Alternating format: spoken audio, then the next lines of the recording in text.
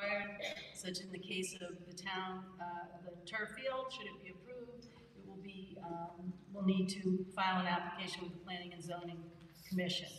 Um, we don't bond funds unless we require them, so for instance, if the bid on the fire truck comes in under 950,000 and 925, we only borrow 925. Um, and sometimes we smooth out our borrowing, we have reserves, um, so that, you know, we can split the borrowing over two years if need be. So, I move to appropriate one hundred and twenty-seven thousand for the construction, for the, excuse me, for the construction and reconstruction of Scribner Hill Road, and authorizing the issuance of up to hundred and twenty-five thousand bonds of the town to meet said appropriation. Is there a second? Second. Thank you. So this is um, a one, uh, uh, estimated to be a million point eight twenty-seven project. Um, We're asking this year for the one hundred and twenty-seven thousand to design the project and expect to ask for approximately one point seven million next year at the town meeting. So many of you may be aware, there was damage to the road. um, Several months ago, the northbound lane of the road has been closed, almost a year. Uh, A geotechnical engineer was engaged to evaluate the damaged section. Uh, The next phase is the design of the work that needs to be done to repair the road and make it fully usable again. We did apply for a straight grant for this. We've been very successful, as you'll hear later, grants, but unfortunately, because this is not a commuting road, it's not a well-traveled road, um, the state uh, declined our grant. We do questions at the end, right? Thank you. Okay, so next. I move appropriating up to one million nine thirty-five for the planning, design, acquisition, and construction of the turf field at Allen's Meadow and authorizing the issuance of one million nine thirty-five bonds of the town to meet said appropriation. So I think you're all familiar with what a turf field is. Uh, this turf. Oh, second. Anybody? Thank you very much, Warren. Nice to see you. Um, he used to stand on the stage many years ago. Um, I think you're all familiar with what a, a turf field is. This turf field would be the size of the Lilly, which is larger than the stadium turf field. It would have LED efficient lighting. Um, these are not the lights that you see right now on Lilly in the stadium. They're much more modern, more down lighting, um, so they won't be dispersing into other areas. Uh, The only other lighting would be path lighting from the field to the uh, parking lot. The field will abut the parking lot that's closest to Route 7, if you're familiar with Allen's Meadow. Um, There will be some work done on the parking lot as part of the project. Uh, We're seeking to have minimal disruption to Allen's Meadow, no else asphalt, no additional fencing. Um, I'm not gonna link it, if somebody wants to look at it, I'll do it, it's basically a turf field. Um, the bonding does not include, uh, possible, uh, infrastructure for a possible seasonal, bubble, um, that could be installed in the future, it's allowed under the state lease. Uh, any work that has to be done with the installation of the field for a possible bubble will be paid for by WARF. Uh, WARF will fully fund uh, the, their obligation, which we'll look at that when we look at the cost. Um, By the time of contract execution, we're not going to execute a contract um, without those funds paid. Uh, The town does have a a sinking fund for the replacement of turf fields. Uh, We started that back in uh, 2016, uh, at the time that we replaced the field at the stadium.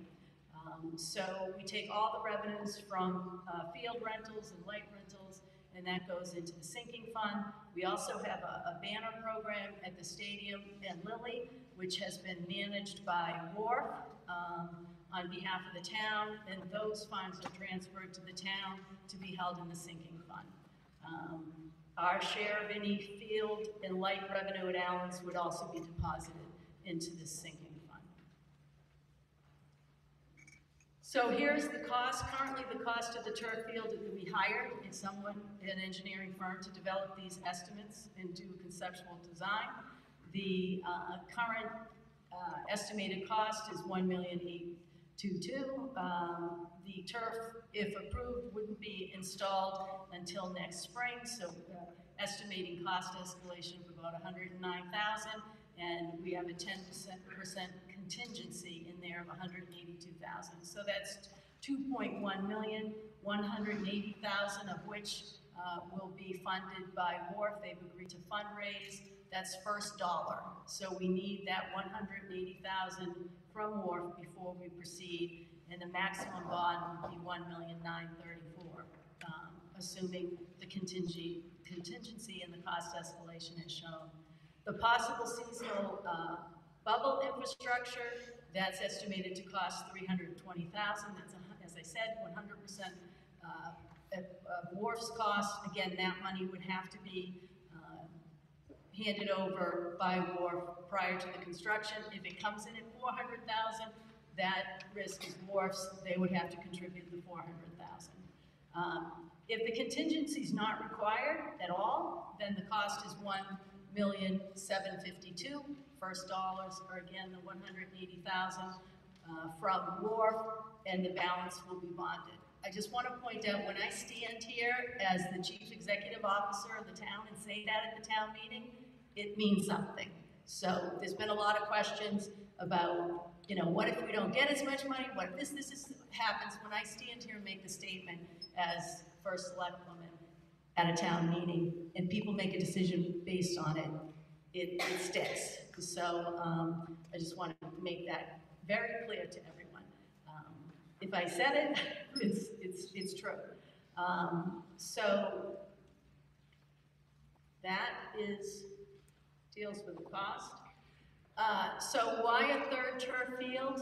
Um, a, first of all, there's advantages to turf fields. They provide for a greater number of hours of playing time. If you went by the fields today on your way here, you noticed the only place people were playing, at least when I came, was on the turf fields. If you were out driving around, um, I think it was Saturday when it was raining and I was driving around, the only uh, the only place where anything was being played was on the turf fields. All the grass fields were empty.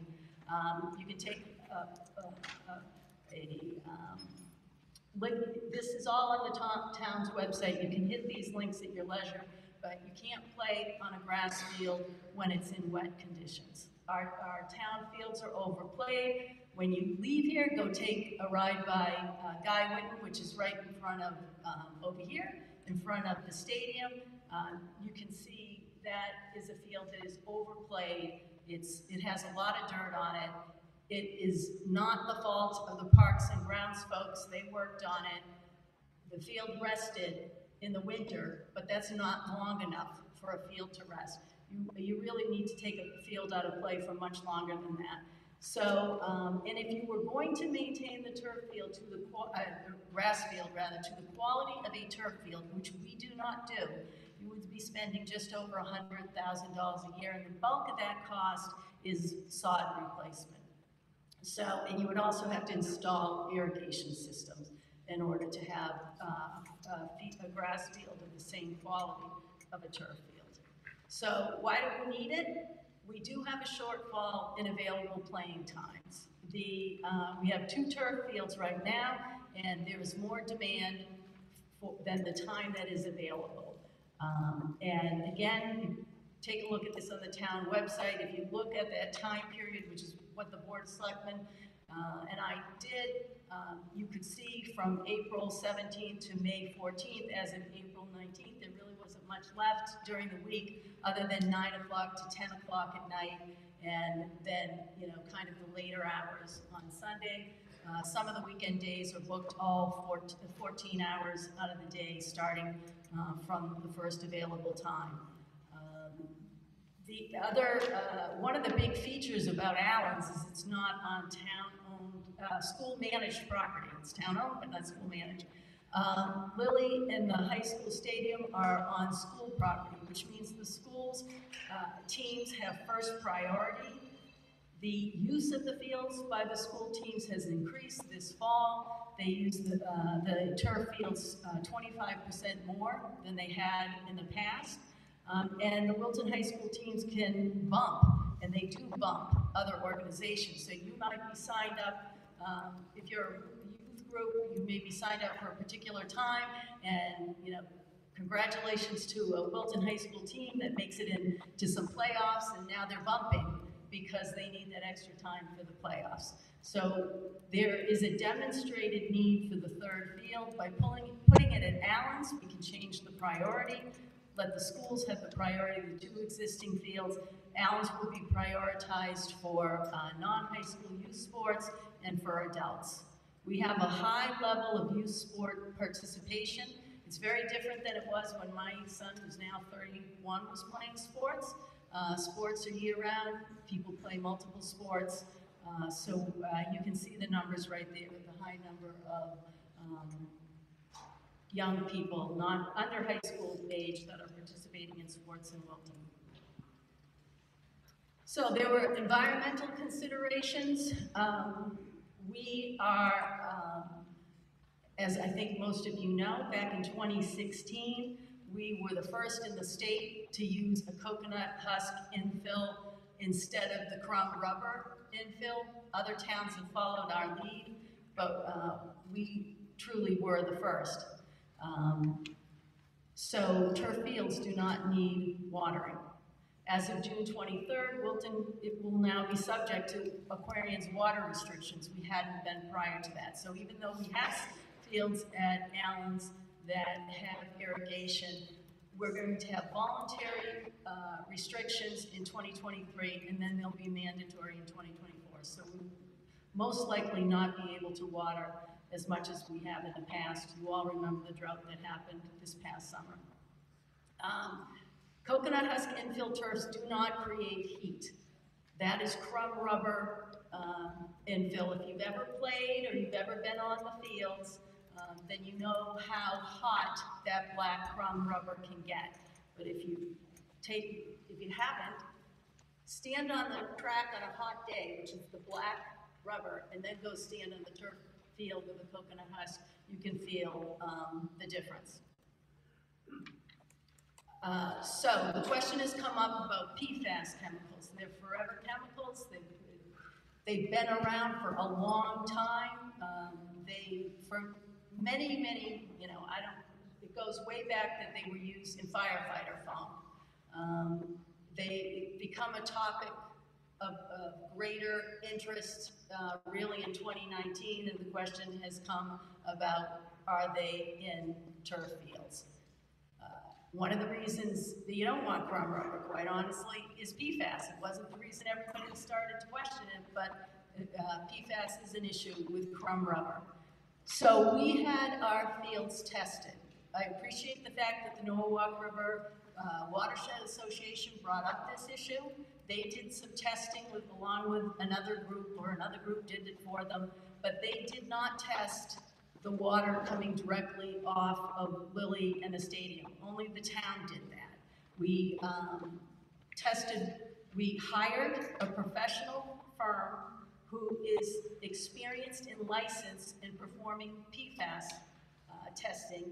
You have to have that specialty because you probably all have PFAS on you right now. And so contamination um, is a big issue when doing that testing. You know, it's in your shampoo, it's in your cosmetics, your moisturizer, your nail polish, your sneakers, your clothing. So um, this has to be done properly. So we used that firm, they did the samples, they came back that it was non-detectable in um, the water sampled from our two turf fields. Now they can only detect down to two nanograms per liter. Uh, the standard, and, and what they did is they tested the things that the EPA is recommending be um, considered for drinking water, that if they're above a certain standard, then you have to treat that drinking water because you can remove the PFAS from the drinking water. So for example, the two that are the biggest issues, in order to treat for drinking water, it's above four nanograms or at four. So ours came in detect, not detectable at two, so that's half of what the standard is for drinking water. And nobody's drinking the water off of the turf field, but that's, you know, we're measuring against what is the strictest standards. Anyway, probably more than you ever wanted to know. I will also point out that we tested the Gochu Brook that runs alongside of the north side of Lilly and then the north side of Northfield. Tested it just south of Northfield, so that water had run past Lilly and that also came back non-detected, non-detected. The manufacturer of the two turf fields that we have, which would be the same that we would use for the third field, they've represented to us, and you can again go on the website and read that their turf fields do not contain PFAS chemicals. The state has addressed twice the question of a turf field at Allen's. Once when we asked it, and they agreed to a lease with it, and then uh, a resident contacted them and asked that they uh, reconsider it, and which they did. Also, if you go on the um, state website, the Connecticut Department of Health, they point out that there is only one peer-reviewed study that was out of Sweden, and it found that fluorinated substances in turf fields do not leach into the environment. They're not the type of fluorinated chemicals that transform into the harmful PFAS. So that's what the state, and the Department of Public Health has to say on it. Um, there's been a lot of confusion about crumb rubber granules, the little round pellets, and um, turf fields. Because you'll often, maybe you're going to read an article that even the articles it- use them interchangeably, which they really shouldn't. So um, the EU is considering a ban on synthetic infill, i.e. the crumb rubber or plastic. Sometimes people coat it with a plastic coating to change the color. Uh, but they are not considering a ban on the turf fields. So they actually got the recommendation to do it in, in late April, and in about a month, they'll make the decision. But again, that's on the crumb rubber. And again, there's, a- there's been a lot of talk about a, a study in Sweden. That study was of crumb rubber granules, not of turf fields. And I'll tell you, if you, if you Google uh, Connecticut ban turf fields, you'll get an article, you'll get lots of articles that say Westport banned turf fields. And you click on the link in the article, and it's about Westport banning crumb rubber. So it's, it's a little frustrating that a journalist can't get this right. So we have a uh, proposed lease with the state of Connecticut. Our current lease expires at the end of November. Um, It's a 30-year cumulative term, twice what we have now, so it would be 10 years initial term with two 10-year extensions at the town's option. There is no rent as long as we do not charge a fee. So in the case of charging a fee, which we had done in the past for the community gardens, or if we charge a fee for the turf rental, then a portion of that fee would go to the state and would be negotiated when we get to that point.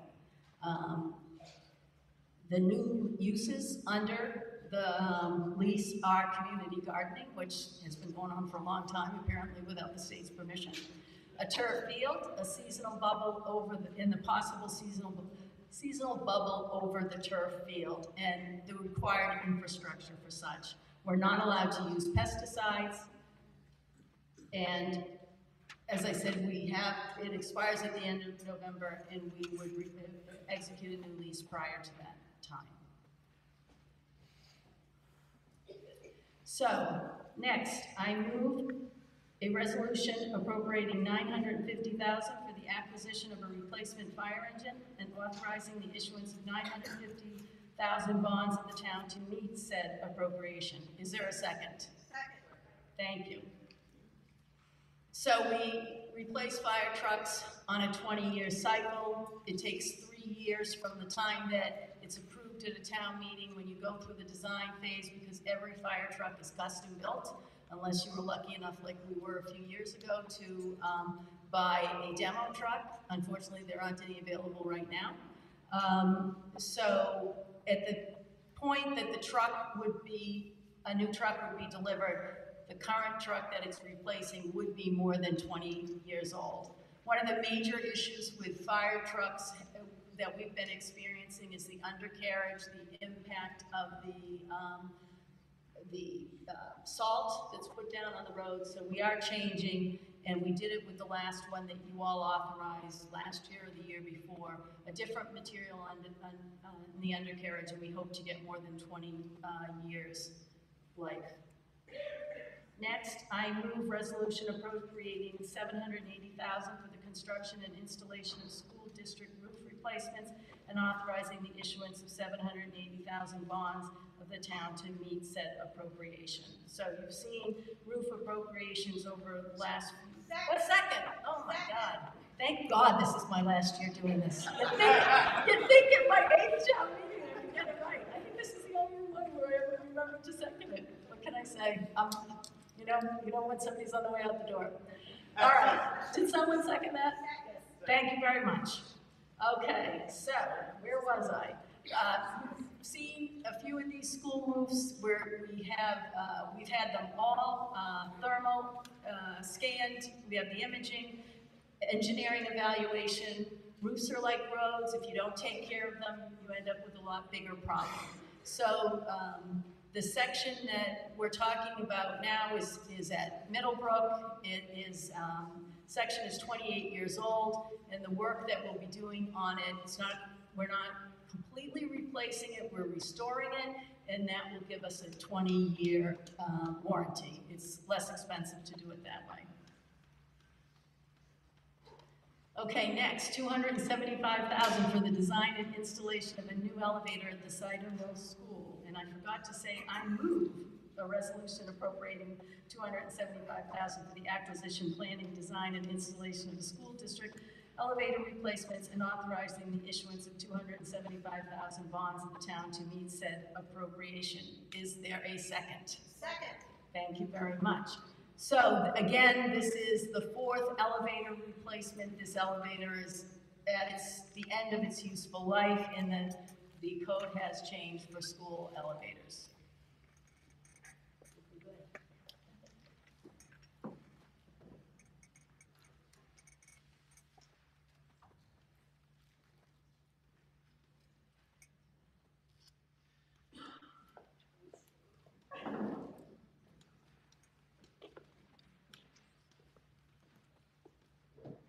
In case you're curious about the uh, do-si-doing that we're doing, there's a giant pit that's right here, and there's about a three-foot gap that we can walk through. So we're being very careful not to uh, end up in the pit of despair. It's now time for the uh, comment period on the bonding resolutions. So anybody that wishes to speak on any of the bonding resolutions, not the budget, that'll come later, now is the time to do so, to come up to the microphones on either side. A reminder that each person can speak for three minutes on any one resolution. If you want to speak on more than one resolution, it's a total of six minutes, but only three minutes on any one resolution. Uh, Per the town charter, the bonding resolutions cannot be amended at the town meeting, so there will be no motions that can be made to reduce or modify the amount of the bonding that is being requested. The only vote will occur after the adjournment of the town meeting and the vote that occurs at that point. And a reminder again to clearly state your name and street address when you come up to speak. So if anybody wishes to, now is the time to speak on any of the bonding resolutions.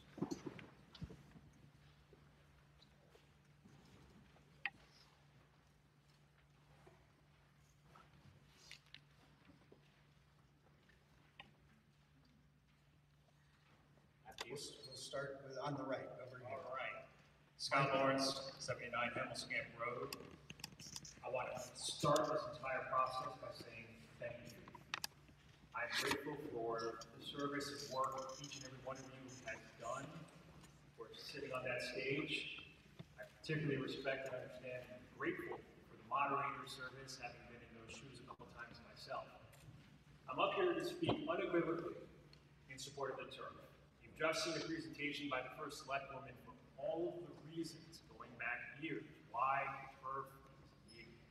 And I understand there are concerns raised about environmental issues, those have been studied and addressed. There have been concerns raised about fundraising for war. I hope those have been addressed. But to the extent they're not, let me give you a little bit of a human face for war. You're looking at it. We are WARF. Is you. We are parents, coaches, volunteers. We are the people who volunteer to serve the town. We volunteer in service of your students. We volunteer in service of everybody. We are committed to raising $500,000 towards this project. We are excited to do so. We are proud to do so. To the extent there's any doubt about our intentions, those are our intentions. And to the extent we do not succeed in meeting that goal, then nothing gets built. So we're committed to seeing this through. And I think that needs to be said next. We welcome your support. We are grateful for the town's leadership in pushing this forward, and doing very rigorous diligence, and we look forward to what happens next at the vote. We encourage each of you to do your own diligence, study what has been presented, understand need, see the benefits, get excited about this, because it will be a wonderful project for the town. With that, I end as I start with gratitude and say thank you. Hi, um, my name is Mike Corey, uh, 20 Pilgrim Trail. Um, I'm here to provide my unequivocal support as well for the turf fields. I am a, uh, I have a senior daughter and an eighth grade son who are both athletes, multi-sport athletes, and near and dear to our heart is the sport of lacrosse. And with that, for the past about decade, I've been a volunteer with the Wilton Cross Association in different roles of coaching, scheduling, being a parent on the sidelines. Just love the sport and have a lot of players that I love coaching and being a part of. Um, with that, some recent uh, news based on, you know, Lynne mentioned it, but um, just this last eight days, Mother Nature is, is, obviously a force of nature, right? We've had tremendous rain and storms. What that does is really affects opportunities that our kids have to practice and play games. And part of that, when we have the grass field use, um, we don't start the, uh, the season until April 1 based on when the grass is available to play, based on the winter. Um, so that puts us about a month behind other towns with ample turf fields to be able to start practicing, especially for the younger grades where it's so important to get out there. Um, with that, practice happens uh, April 1, spring break occurs, there's no activity there, but then we get into late April where games start to occur. And this past week, lost the opportunity for six uh, games uh, to be played with our youth, uh, which is about 100 different kids uh, at this level. And they're really hoping to get out on the fields and play, and that was canceled early on on Saturday. So just to really put into context what this actually means to actual kids in, in the program. Uh, lastly, um, we had an opportunity to practice this past winter in the Danbury Dome. And that was uh, scheduled on a Wednesday at 4 o'clock in the afternoon. Very inconvenient for parents to get their children there. Uh, with that, we had very low enrollment for this winter in their sessions. Uh, as a just small example, in eighth grade, we had 25 kids that are really dedicated to the sport. We instead held the activities outside on the turf at 8 o'clock at night in 30 degree weather, and we had 100% participation by our kids. They're ready to play, they want to play, and this new turf will give us another opportunity to get them out there. Uh, so thank you. Michael Wall, two fifty-two Branchford Road. Um, so as I said, my name is Michael Wall. A senior student here at Warren High School. Uh, I grew up heavily involved in uh, sports and have continued throughout my high school career playing lacrosse, football, and basketball. I stand before you today to express my strong support for the construction of a new upgraded turf field at Allen's Meadows. As a member of this community, I believe that this new field will have a profoundly positive impact on the youth in our town, as well as the entire community as a whole. Currently, Wilton lacks quality fields, which is adversely affecting the accessibility and opportunities for youth to play. The construction of this new upgraded turf field at Allen's Meadows will not only enhance access, quality, and safety of play for Wilton's youth, but it will also improve the quality of life for families who are often forced to travel to neighboring towns to use turf fields, domes, and facilities. Furthermore, the new turf field will reduce town costs for maintenance and drive positive economic growth for our town. With efficient LED lights for safe evening play ideal location within walking distance from the school, the new turf field will undoubtedly benefit our community in numerous ways. Lastly, the propo- proposed new turf field will be the same surface materials used at Fujitani and the Fields.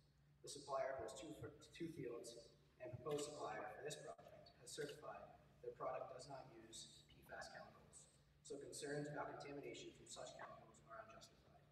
By approving this project, our athletic facilities will better meet the standards and the needs of ever-growing youth sport involvement and increase the value of Wilton's offerings to existing and potential new residents. I urge all eligible 18-plus residents to vote yes on May 6th for new turf fields at Allen's Meadows. So let's come together as a community to invest in our youth's future and create a better Wilton for everyone. Thank you. Reverend Krasinski, 49 in Boston. I'm in opposition to the turf field. Please do not. Not opposition to something else, uh, an alternative such as a dog park, which would not require the use of pesticides. However, I'm against a uh, plastic carpet putting down on the ground. Uh, There are plenty of studies, uh, including that Sweden study and other um, around the world and in this own country that in opposition to turf, there's, it's made out of plastic, the, the coconut husk um, has uh, flame retardant chemicals put on it. They have to disinfect it because you can't poop on it, you can't pee on it, you can't vomit on it, you can't bleed on it, and you also can't uh, puncture it. So the, um, the illustration that WARF shows of a bubble over the field is a little bit unrealistic because you can't actually pu- puncture the, uh, the turf to install a outdoor stage on it. So it doesn't make a lot of sense. Um, also, it has a, a product life cycle of ten years, which means that the field installed in twenty sixteen is due for renewal in twenty twenty-six. That's not in the five-year capital budget, so that's gonna be another cost, uh, that the town will have to undertake every ten years. Um, And, uh, finally, um, well, that's all I want to say, thank you.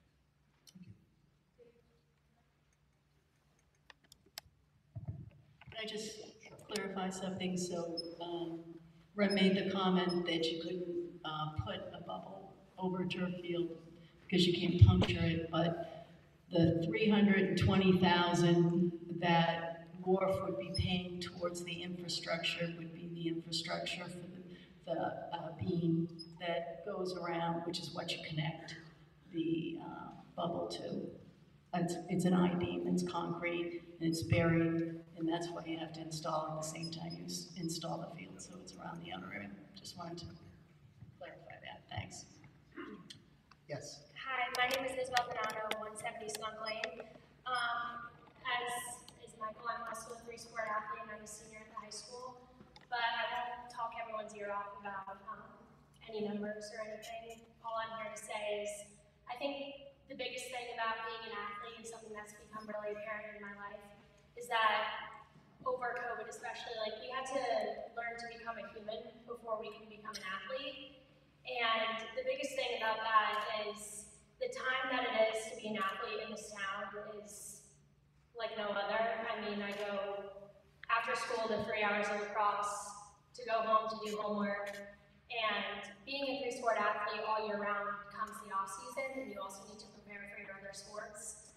Um, as um, Mr. Corey did say, we went to the Danbury Dome this whole entire winter for an hour um, practice, and just driving there alone is a hassle to go with. Um, but I just wanted to say it's one of those things where, although I'm, that I'm leaving, it's for the respect of the athletes too. We put a lot of time and a lot of effort um, into every into every day and every practice.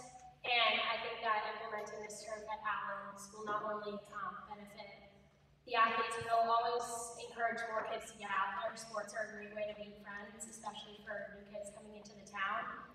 And being um, an athlete here is something that I'm proud to be. So the new turf will just add a different level, and I hope that you all vote and support the turf. Thank you. Thank you. My name is Tom Dexter, uh, 36 Pelham Lane.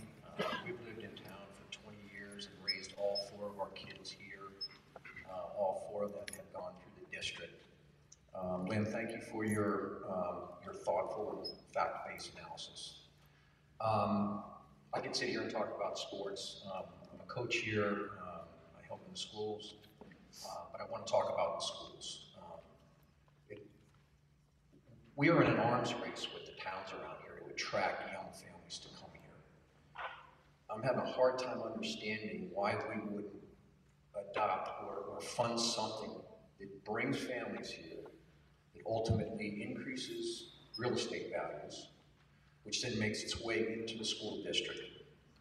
Not only is this an elite school district from an academic standpoint, it's an elite school district from a special services standpoint. Uh, I also have uh, two nieces and a nephew here in the school system who enjoy the benefits of all you have to offer. So I'm here to represent uh, the tax revenues that are important to keeping funded our elite school district. Thank you. Thank you. I'm Heather Christopher. I live at 62 Wolfton Road. I'm a mother of Lauren, who's in the audience. She's in the third grade, and Nikki, who is in the second grade. And I am here to support the turf field. I think first Selectwoman Vanderslice did an excellent job of putting forward the merits of the proposition.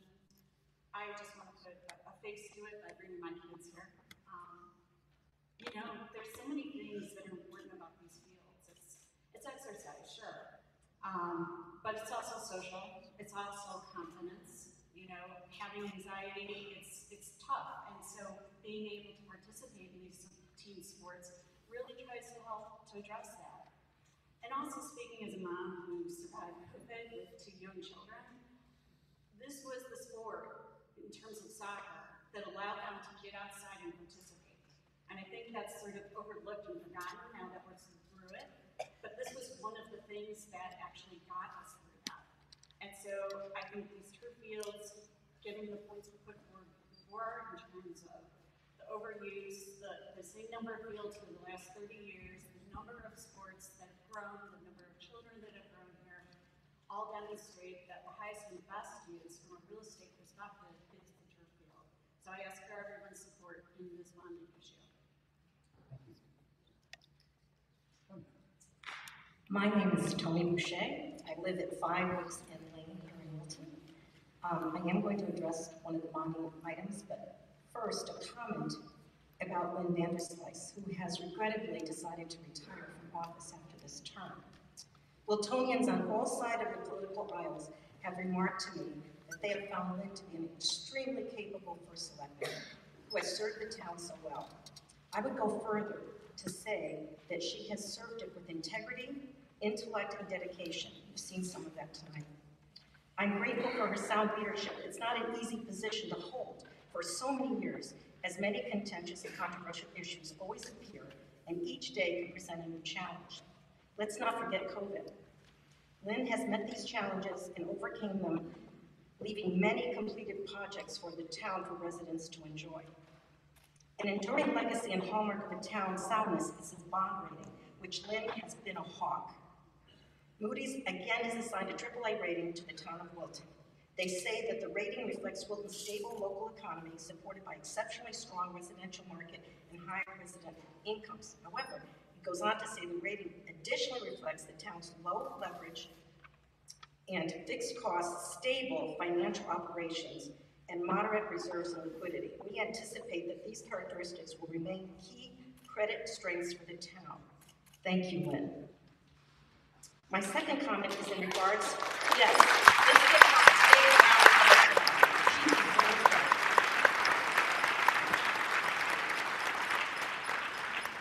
Now, my second comment is in regards to what appeared to me to be a non-controversial issue, turf fields. I understand from members of that they have rarely seen a, proposal with so many positive letters and emails of support, including the state DOT, and you can see it by the number of people standing up here tonight. The one concern expressed by some is contamination. So the town studied this possibility thoroughly to validate concerns on that front. It also pledged not to use crumb rubber fill. Our neighboring towns have all expanded their turf fields. Ridgefield at Scott Ridge School and their Tiger Stadium from 2013 to 2021. Westport has four turf fields, and Green Farms Academy just installed them as well. Weston and Darien in 2017, Danbury had turf fields since 2009. New Canaan stated in 2022 that the demand for their turf fields has increasingly raised revenues from event- events. The demand is so great that their revenues went up from $31,000 in 2019, $67,000 in 2020, 81,000 in 2021, and they also collected 93,000 from their own Canaan sports organizations. Why is there such demand and so many towns considering converting to turf fields? They require less maintenance and water, drainage is improved, players have fewer injuries, less pesticides are required, and they're more reliable. Not only has Wilton's nonprofit WARF worked closely and cooperatively with the town, they have already donated $100,000, $180,000, and will be donating $320,000 more. The next generation of the community in civic involvement has been so inspiring to watch, I have to tell you, as they bring all the parties together here in Wilton on this and all their other amenities the town is looking for. The town should not miss this opportunity to enhance the ability of our young people to engage in more healthy athletic activities. And that's what I have to say about it. Thank you. Thank you, Yes. Uh, my name is Lucas Trout, and together with my wife Olga Zargos Trout and our three children, we reside at 50 Wicks End Lane.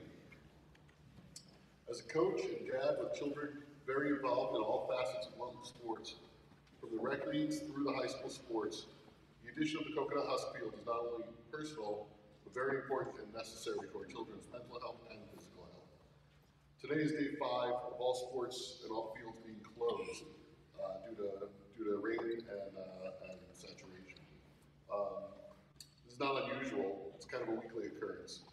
Uh, there, there was an entire season where our, son um, basically was unable to play uh, any home games, and all our games were, uh, were scheduled for other towns um, around here with better with uh, suitable facilities. Um, we were forced to go to the surrounding towns and fields to, to accommodate Wilton's lack of it. While I appreciate the environmental concerns raised by some Wilton taxpayers, I recommend, uh, I, I commend the efforts and due diligence completed by our town uh, to address those concerns and ensure the safety of all Wilton residents. We have such an incredible opportunity for Wilton as provided by the state of Connecticut in amending the terms of the lease for Allen's Meadow. I hope we do not squander this opportunity, and more importantly, I hope we can come together as a community to support the field that is desperately needed in Wilton.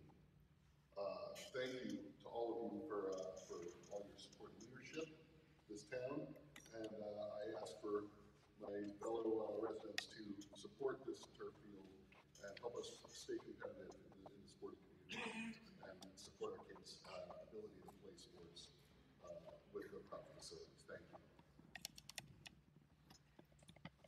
Good evening, my name is Matthew O'Hearn, 92 Old Boston Road. Um, here tonight to speak on behalf of uh, my support for the turf field. Uh, I've got uh, three young children who I've had the pleasure of coaching and uh, seeing them, you know, trounce through the mud. We've had the, uh, the rain and also see them, uh, you know, light up with just tremendous joy and having, you know, seeing the alternative in terms of what's out there and being able to play on, on the turf has just been, you know, something of an eye opener for me in terms of where they are and what the potential is for, you know, this facility, not only for, you know, the youth of, you know, Wilton in terms of their development, but also for, you know, the next generations to come. Um, I appreciate, uh, you know, Lynne's, you know, very, uh, eloquent and insightful, you know, review in, in terms of uh, presenting this information you know, to the town. And I really can't, uh, you know, say enough in terms of adding another field and what it's going to do to not only the uh, the but the community at large, and bringing another opportunity for our children to express themselves in an innovative fashion, you know, both on the field as well as you know their individual efforts, and look forward to you know supporting them, you know, as they continue to grow and develop. So, thank you. It's Jason Partenza from 165 Cannon Road, um, Wilton High School alum, uh, father of four Wilton students, volunteer president of the Wilton Soccer Association, serves about a thousand families annually and a longtime resident. With respect to the upgraded field at Allen's, I fully support. And I'd like to share some thoughts about what it, may, what it means to each of children, parents, volunteers, and taxpayers. From a child's perspective, when you're a kid, in most cases your happiness revolves around your favorite sport or activity. It's the place where you feel free, where you meet new friends, and you grow. In this town, the infrastructure to support that, a child play is inadequate. Our grass fields for youth are disparate, non-conforming, difficult to maintain, and exposed to elements, and there's too few of them. When they are most needed, they're unfortunately often closed because they can't endure the weather that's typical here. Closed fields rob the children the opportunity to play and grow, leaving them inside and often alone. That's something that became a difficult ex- existence for many in the global pandemic, and it brought children to the brink. We're still here in the early days trying to repair those wounds. To do this, we need as part of our portfolio of assets, a weather-resistant, always available, convenient, reliable, high-capacity, multi-sport and activity space for play. That's prioritized for our need. Let's upgrade the existing field for the children of Wilton. From a parent perspective, again, I have four kids, but just like every family, schedules are busy and complex. If a child's scheduled event is canceled because the infrastructure to support it is not up to par properly built in the first place, when that happens often, that's frustrating and extremely difficult to deal with. But it's also solvable. This upgraded field will provide a solution that will make the lives of parents and families better, and in turn, support their kids who need this the most. Let's upgrade the existing field for parents and families. From a volunteer perspective, volunteer parents spend countless hours each season to deliver accessible and affordable opportunities for play. Talking about high participation, recreational, and developmental in-town programs for all. The required volunteer time and energy to coordinate a schedule for one team, one age group, one program is immense. Now, now translate that across many programs in town. Without proper field infrastructure, it becomes nearly impossible. There's a solution. Build a portfolio of fields and facilities that number one can handle current future demand. Number two is a balanced mix of turf and grass, outdoor and indoor, and is accessible, reliable, and durable. This field dramatically improves our standing in all respects. So let's build the field for the volunteers who serve the children, who serve the families. And finally, the taxpayer. Twenty seconds. Yep. I'll talk about the fire truck again for a few minutes. Satisfied, fulfilled parents and volunteers and children to more families staying here for longer, and more that want to come here. When that happens, population rises, economic activity thrives, and home values appreciate. This investment is a must. It's a must do now. It's the only one I've seen, maybe after the schools, that speaks directly to the heart and soul of Wilton, our youth and its families. I've thought deeply about this, all the considerations arguments for and against. I'm available to all as a resource, as you consider your view. Like the Clune Center that we're standing in now, the Lilly Field that's across the street, trackside down the streets as well, this investment will pay dividends for years and years to come. If you're a parent, if you're a grandparent, you have It's children, or you might, vote yes for this. Thank you. Thank you. Before you start, I just wanted to say, I know that there's a number of people that still want to speak. If somebody has already spoken about the same topic that you want to, if you could adopt their thing. I don't want to stop, want to stop anybody from saying their piece, but on the other hand, if, if you're saying something that's consistent with what others have, if you could shorten it, your comments, that would be great. Sure, I'll be concise. Good evening, everyone.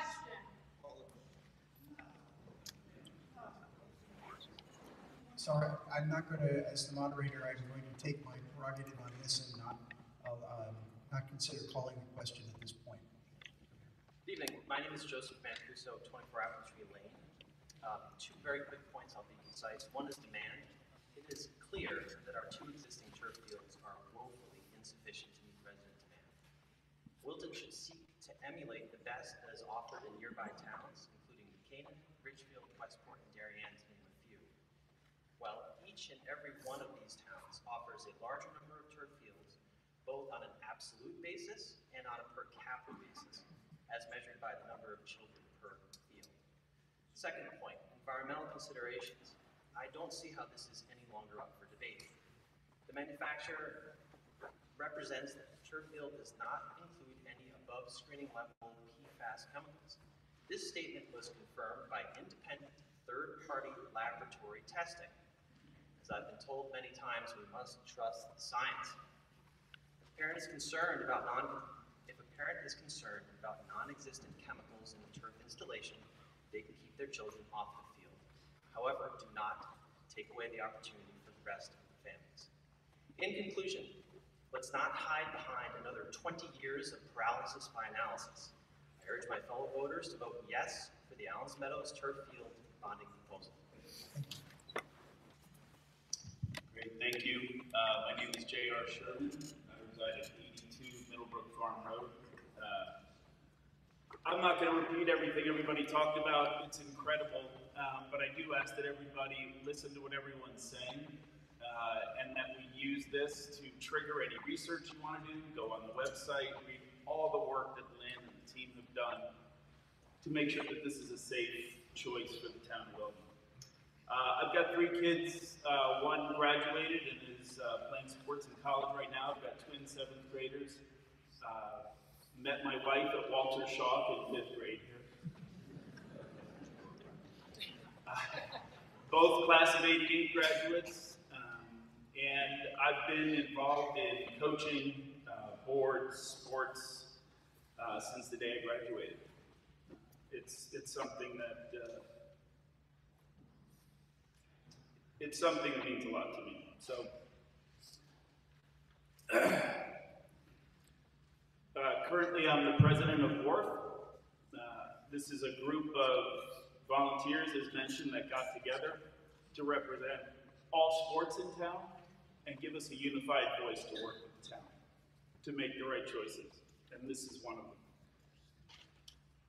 Uh, without repeating everything everyone talked about, I think I owe a debt of gratitude to the schools and to the athletics for teaching, Life lessons, right? Leadership. But when to lead, when to follow, when to support, when to be part of something bigger than yourself. Maybe be a part of something that doesn't benefit you because it benefits others. It's the things that you learn going through sports, leading sports, playing, being a player, coaching, and it's a life lesson that you'll take with you forever. So I would just say this decision is one of many that we'll face over the next years. This is a long, long decision process. But it's one that's critical for all the kids who are coming into this town, who have been in this town, the ones who have graduated, and the ones who are having kids again in this town. So please vote yes. It means a lot to everyone. Thank you. My name is Brian Scanlon. I'm at 95 Old Boston Road. I'm uh, also here to speak in support of the turf. As a father, as a volunteer coach, you know, I've been out in the fields many times. I won't go through everything, but this is certainly something that's uh, needed. As somebody who appreciates the outdoors, and the open space we have here, I appreciate the research that was done, and the facts that were presented today, and I hope everybody will continue to support uh, the turf in light of all those facts. Thank you. Thank you. Hi, uh, Casey Portman, 15 Westwood Road. Um, I too have kids in the community that play sports. I have three young boys. Uh, I coach them in multiple sports, work with a lot of you all who've already spoken, won't again repeat things, but I want to take it from a different angle and think about what, why everybody chooses to live in Wilton. Because I can tell you, when we moved here 15 years ago from the city, we took a long, hard look at a lot of towns around here. What we liked about Wilton was its diversity. Not only its diversity of people, socioeconomically, and interests. We're not a homogeneous group. And that's what I like about it. We have different views, but we all appreciate that. We have outgrown our sports facilities. It's massively important to these youth to have a place to play. All we're asking is for everyone to think about it from their perspective. If it meant as much to you, if it was something else, you would want us to listen. And we would, because we're a community. Instead of dividing ourselves, why don't we come together to do something that will help all. Now, if you can't get on board with that and on board with helping the kids, do it for selfish reasons. It's already been talked about. If we have more amenities in this town, it's gonna bring more people here. It's gonna increase your property. So, please, think about this. I appreciate if you have an opposing opinion, but for the betterment of the town, please vote yes. Hi, my name is Mike Galligan. I live at 25 Hidden Lake Ridge. Um, in the interest of time, I will adopt a lot of what's been said so far. I am another father, another coach, another father of athletes, youth athletes, and a high school athlete. I'm here to speak in support of the turf. I really, I, I just want to make one additional point because many have been said, and I think they've been said very well. Um, I do want to thank the board and WARF um, for bringing this to light, bringing this opportunity to life. I think it's a very real opportunity that we need to seize. Many of the families that have these athletes drive all over this county to take them to other fields, other towns. I spend Saturdays and Sundays in other towns all through the year, buying my breakfast and my lunch and my gas in other towns. It's crazy. And if we could have a facility that not only serves our own youth, but eventually could also serve the larger community and host games here, we drive some of that traffic here, we let the Wiltonians stay here, and it's just a practical matter. It's, it's better, more convenient, less, less money going out, more money coming in. So I want that sort of ripple effect to also not be lost in the conversation. So again, please join us and vote for this really unique and important opportunity. Thank you. Thank you. Hi, my name is Chandra Ray. I live at 120 Cypress Hill Road, and I'm also here to speak in support of the turf. Within Wilton, I'm involved in many different organizations, but I stand before you as a mother of four student athletes, three in Wilton and one in college, as a product of Wilton athletics. I'm also on the board of WARF, the president of Wilton Youth Field Hockey, and a high school field hockey coach. We all know youth sports are good for kids. The research is undeniable. There's physical health benefits, mental health benefits, and community-wide benefits. When we look to our experts, the Wilton Board of Ed, and look within the, board, the portrait of a graduate that they've developed, specifically at what it, what it takes to be a balanced, healthy human being, and how they've described a courageous, ethical leader, these are traits that our young students can learn and have reinforced on the sports fields when those fields are open, when those fields are accessible. Unfortunately, many of our natural grass fields are in poor playing condition, often closed at the times that our youth athletes have the turf. Fields are late and those times are limited.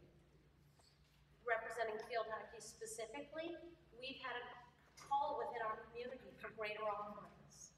More specific offerings, more off-season offerings, more practice days. We cannot meet those needs. We lack appropriate facilities. And we lack a time for those youth athletes to play.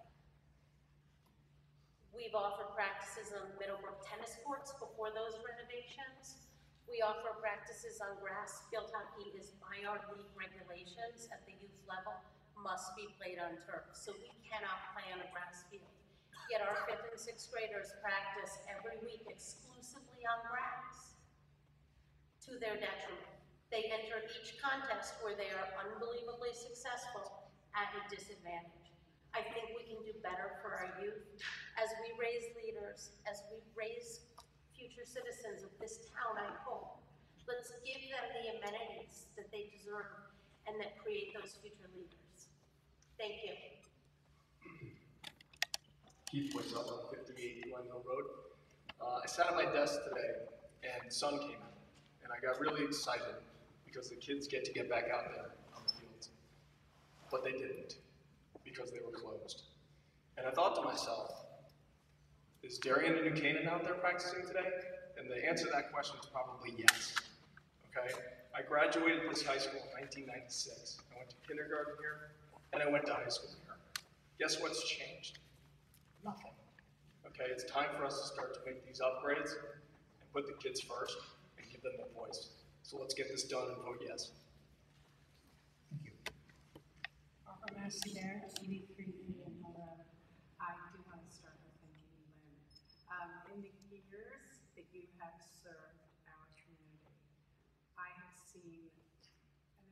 change in this town, particularly in infrastructure, which in my opinion was failing dreadfully across the town at all levels.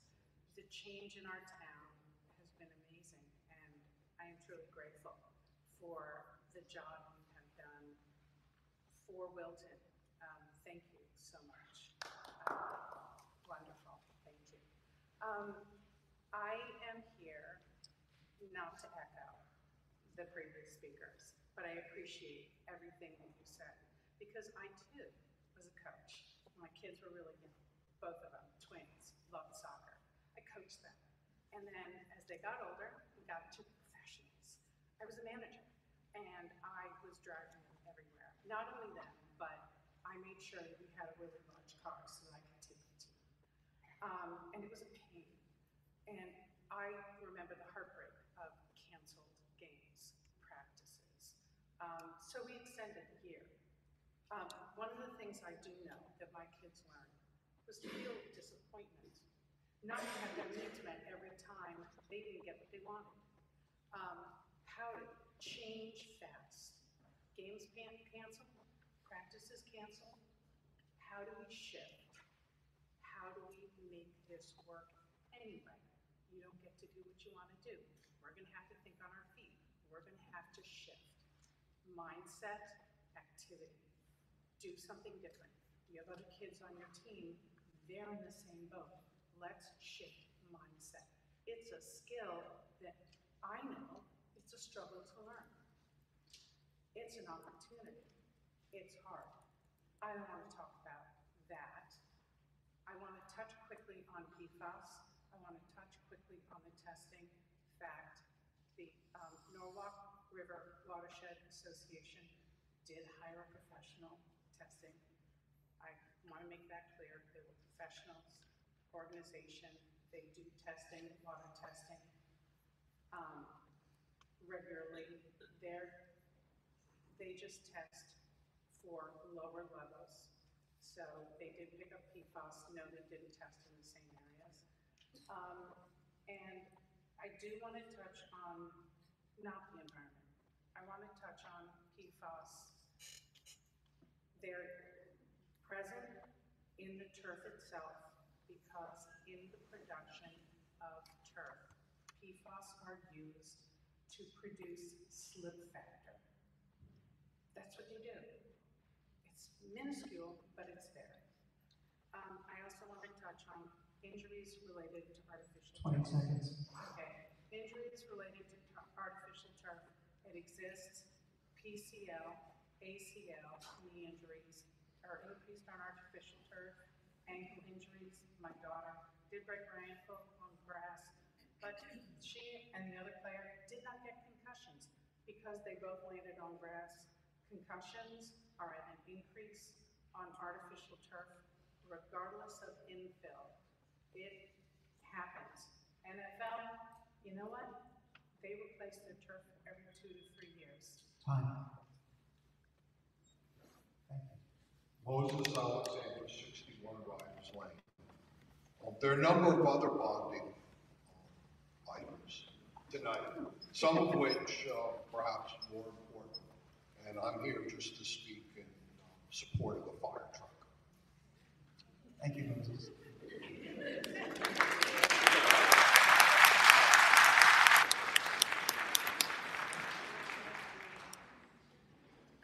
Gail Moscow, 16 Carriage Road here in Wilton. My husband and I have been here for more than 50 years. We love this town. We love everybody here. I want to thank the Board of Selectmen, especially Lynne, the Board of Finance, the Board of Education, and I want to thank all of you. You make a difference in this town. You come and work hard, you take care of they grow up and go away, and you may or may not stay here, but you remember Wilton. It has such an incredible place for all of us to live. We have been here, as I said, for more than 50 years. We absolutely love it. We love the new neighbors with young children who move into our neighborhood. It is an incredible town. Thank you all so much for all that you have done.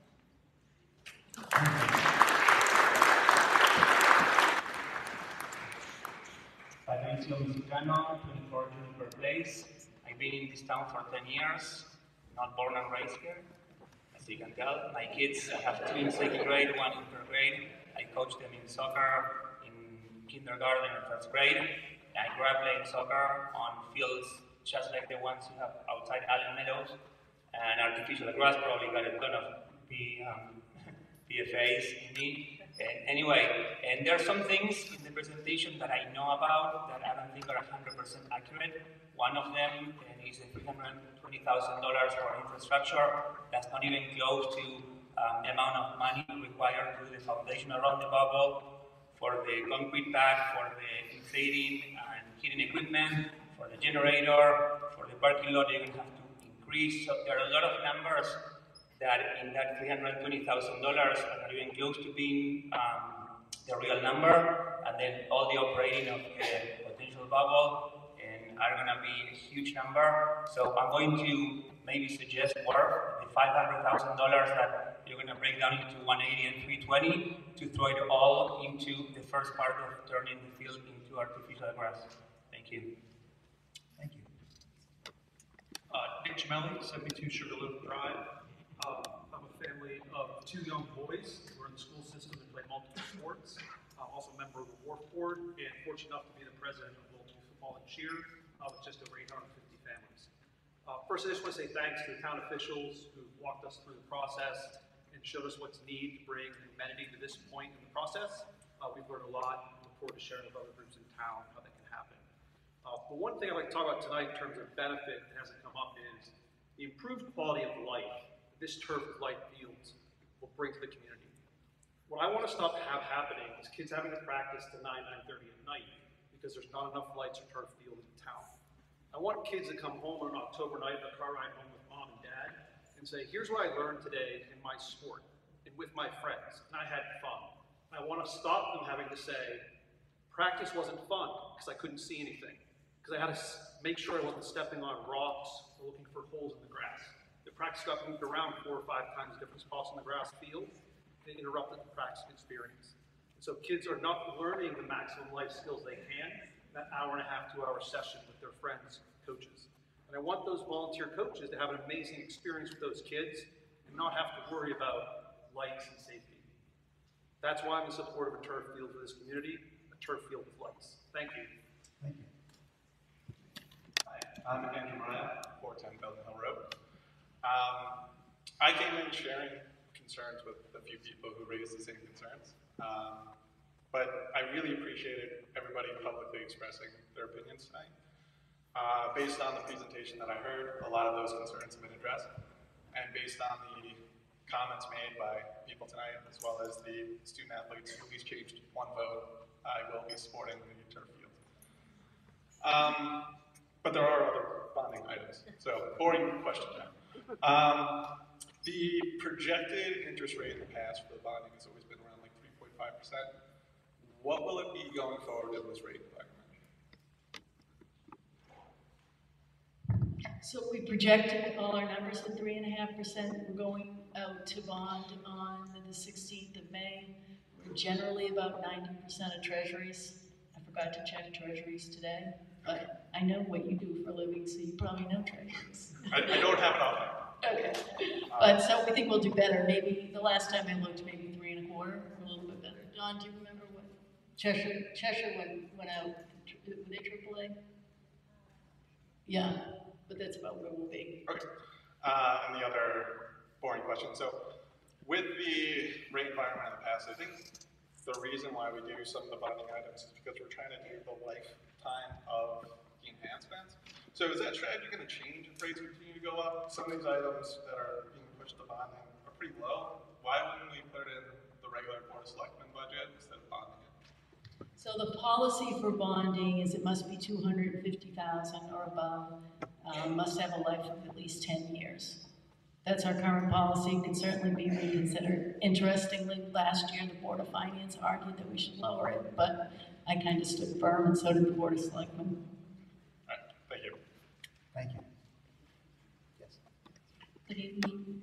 My name is Patrice Gillespie. I'm in 258 Silver Spring Road. I'm a former Wilton Conservation Commissioner, and I am a bird watcher. And I'm here to speak on behalf of stakeholders that do not have a, a voice in this meeting. The aquifer that lies beneath Allen's Meadows is very important. I, for one, uh, am concerned about the bird migrations that come to this area to sustain their, their foodstuffs as they migrate to their destinations. Um, there are many people in this room who have enjoyed bird watching at Mel- Allen's Meadows, and I'm concerned that lights and bubbles and crowds and plastic will adversely affect future generations um, in our appreciation of nature. Thank you. Thank you.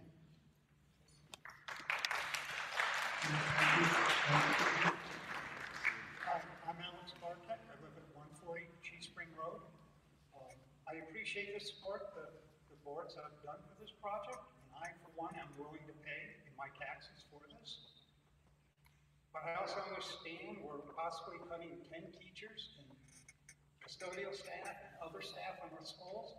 I wonder where the board support is for maintaining the quality of our schools. Thank you.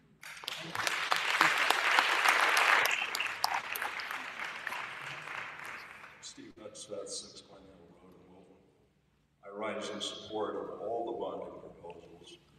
I want specifically to talk about the plans for Allen's Meadows. I really understand the concern expressed about bird migration, but I will tell you noise and other things are already present there because teams are flying there. That's part of the life of Allen's Meadows. I do want to say, this past weekend, I had a chance to go to the high school field to see the uh, sixth grade hockey teams, I'm excuse me, not hockey, lacrosse teams play. Uh, I haven't had a child involved in sports for uh, 40, almost 40 years now. Uh, but I enjoyed watching what I saw, and what I saw was, in very rainy circumstances, turf field really stood up very, very well. I went and looked at Allen's Meadow at the same time. I would not want a child of mine to be involved in Allen's Meadow in those days. What I also saw, and I really want to underscore this because it goes to the heart of what I also want to say, which is thank you to all of you for your volunteer service. You know how much time and energy it takes and how much work you put into it. What I also saw when I watched that lacrosse game was the extent to which coaches put their heart into what they do and how much they mean to the students that they coach and how much those students benefit from the thoughtfulness, the determination of those coaches to see them be their best.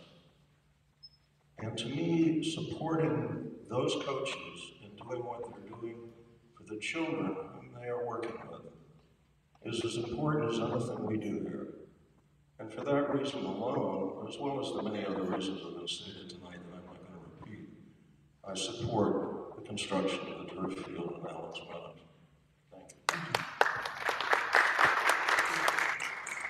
I think you're the last, unless there's somebody else that has a last comment. Um, my name is Kelly Porter and I live at 103 Holder Hill Road in Wilton and I've lived here for about three years. I have two children in the high school. Um, I have two quick questions. One is, um, what is the uh, uh, perceived um, turnover for the, for the field? In terms, is it 10 years as one of the previous people were talking? Are we expecting to, to, to change it every 10 years or was it going to be less? And the second question is, if the bubble goes up, what are the ongoing costs of maintaining the bubble in terms of that bubble has, that plastic bubble has to be stored somewhere during a period, and I've been told the costs for that are 300,000 plus, which obviously seems in excess of the $100,000 that you've uh, indicated for the maintenance of um, the natural grass, as it were. So I just wondered, what are the costs of, of maintaining that bubble on an ongoing basis, and what is the turnover for the, for the actual field? So the life of the field, the turf field is typically 10 years. Um, we're going to get extra life out of the ones that, the two that we have now, um, because they weren't used much during the pandemic. So it, it really varies with usage. Um, as far as the bubble, we haven't done any analysis of the bubble, of the, of the cost of the bubble. Only the, the infrastructure that would have to be installed now, because it couldn't be installed, um, after the turf field's been installed. So we're not even there yet. That's, that would be, if this passes, that would be a next phase that would have to be evaluated and all of that work done.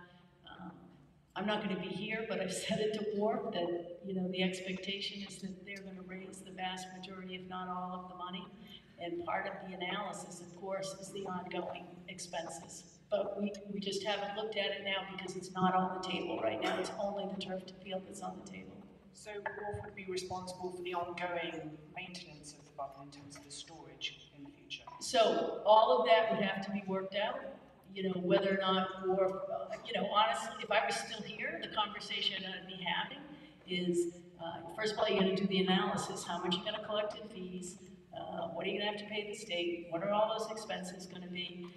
And part of the, the cost of the initial construction of the turf field doesn't include a sinking fund for the ongoing costs. Those are all conversations that have to be had. But surely some of that research has already happened in order to have, you know, if you're thinking of this long term. Uh, we haven't done that research, honestly, on the, the bubble, because it's not on the table right now. And WARF's taking one hundred percent of the risk of paying for infrastructure without knowledge of whether or not the, the bubble, seasonal bubble will move forward. Okay, thank you. Yeah. David, James Lane, 20 Friendly Lane, uh, 20-plus year resident. I really want to thank the boards for your uh, work and commitment to balance the continued improvements to our community, realizing the fiscal uh, realities that we're experiencing. Um, I echo much of what was said uh, about in support of the turf field. Two things I really want to highlight, though. One, the public-private partnership nature of this uh, project. You know, the commitment for work to, to raise the funds to support this project. And really, for all these organizations to come together in support of this, I think that's, you know, unprecedented. You know, we, often compete as coaches and uh, competitors in different sports, but to have all these different sports come together in support of this, I think truly speaks volumes. So I encourage you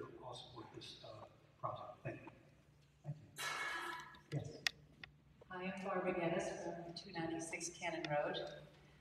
I'm not going to talk about the turf field. I'm not going to talk about the fire engine, which I also support.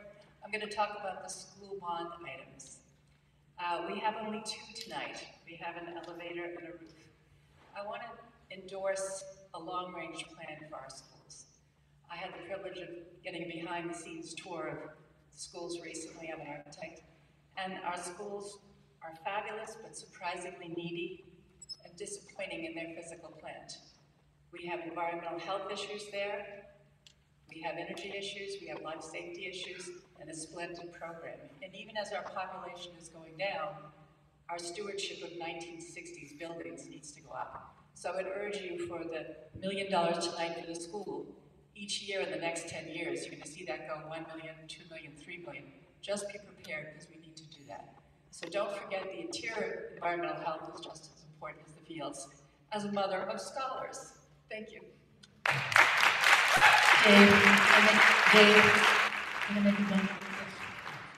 So to Barbara and the folks that clapped, um, you'll see when I, when I get to the Board of Selectmen, um, budget, we did use some of, um, ARPA funds to fund a, um, master plan. It's a ten-year master plan for the schools and the municipal buildings, because they're a lot worse. And, or some of them are. So basically, what's in the five-year plan is expected spending, and we're gonna assign what those projects are after we get the results of the ten-year plan.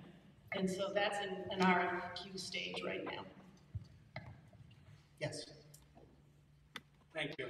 Uh, my name is Per Norwood. I'm on Milson Road, and uh, I have a PhD in inorganic chemistry. I am, I'm very, supportive of the turf field in general. And I got two kids, they gone through the school, I've been here for ten years. So I clicked on the link to the report that you have referred to in your text.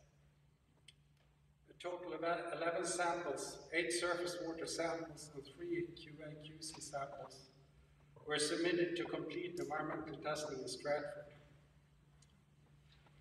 Based on laboratory test results, PFAS were not detected in the field and equipment blank samples at concentrations above laboratory reporting limits, indicating that no sources of cross-contamination were identified in sampling methodology. Based on laboratory results, individual PFAS compounds were detected in six of the eight surface water samples at various concentrations ranging from 2 to 3.7 parts per trillion. So we heard today about that no detection was done, so, so I fail to understand uh, where in the report that would be. I, I just looked it up, so I might have missed some data. So if you're talking about, you looked at the report that's on the town website, so, Yeah. okay, so, um, you should have seen in that report where they tested the discharge pipe for the, and I think it's called, the, the numbers in front of it is MH, maybe six, MH eight. So that means where they opened up the manhole to get into the discharge pipe. So those came back, um, as non-detected.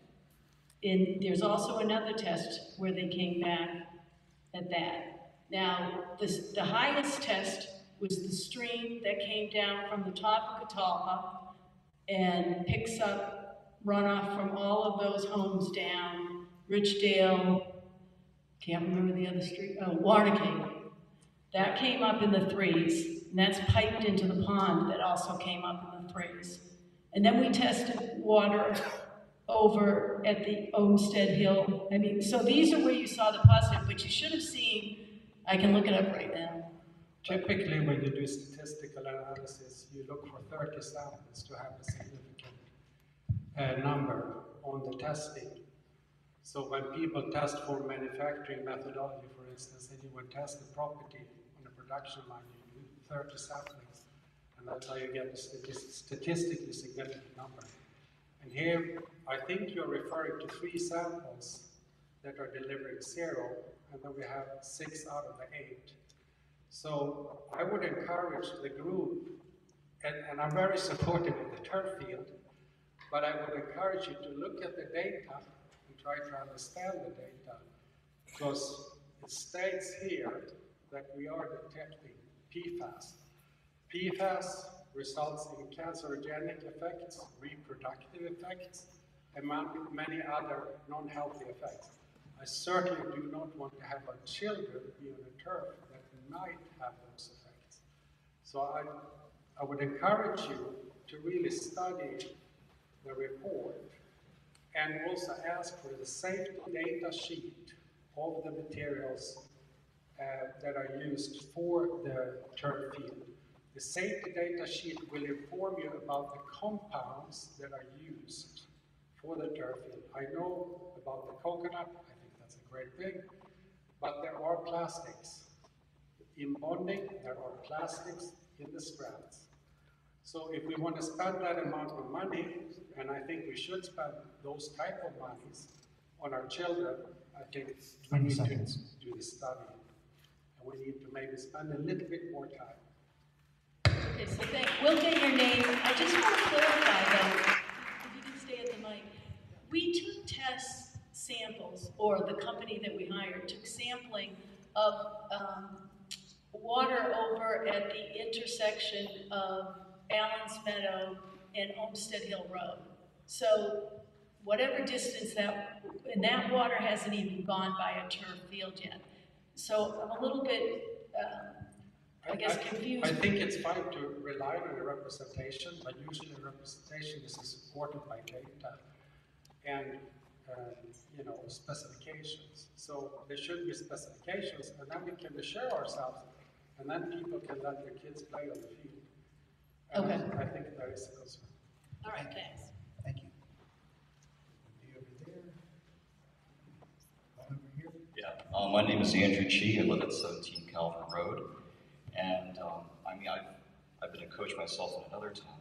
Um, I grew up playing all kinds of sports, got my first letter in my freshman year of high school, was recruited into um, athletic team for, um, for university. Um, so I'm very supportive of sports, and with the pandemic, I'd rather have my kids socializing with other kids if possible, and on the fields, on the trails, and away from social media and other aspects of the Internet of Things. Um, to that said, I had studied at four, and studied and trained at four different medical schools here in the United States.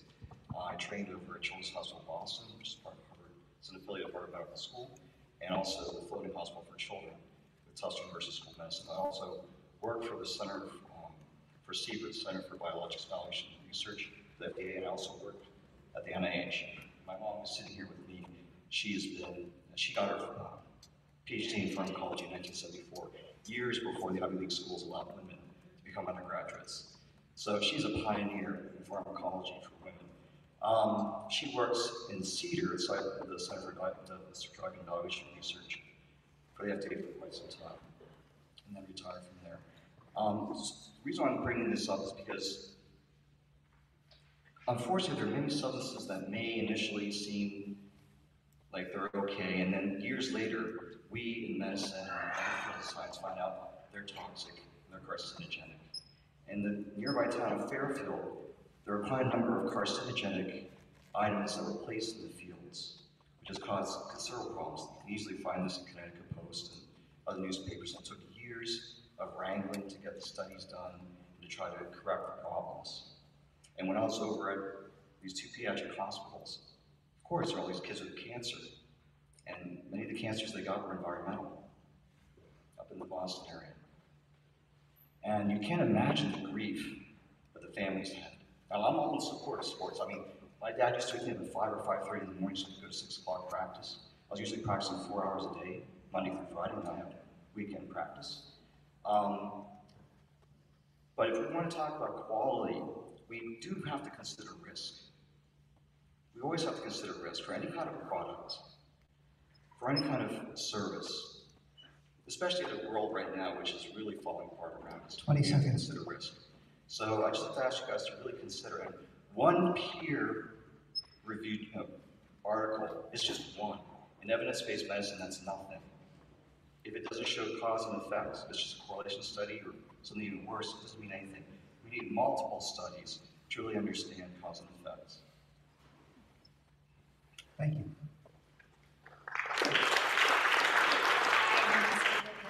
Brian, 461 Ridgefield Road.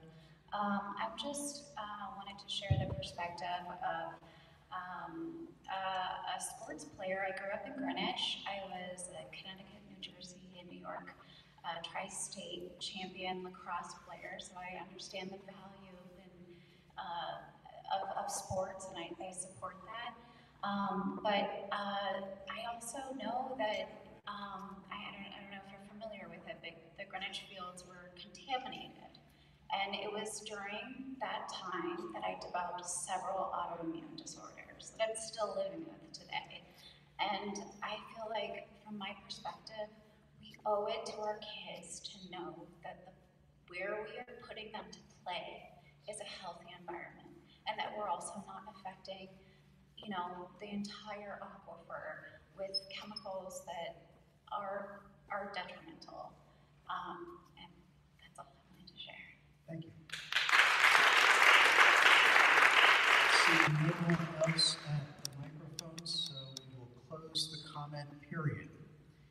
Uh, Just a reminder on this that there will be voting on all of the bonding resolutions immediately after uh, the town meeting and then at the adjourned town meeting as well. At this point, we will move on to the budget, and I will uh, introduce Michael Kaelin, Chairman of the Board of Finance, for remarks on the fiscal year 2024 budget and mill rate.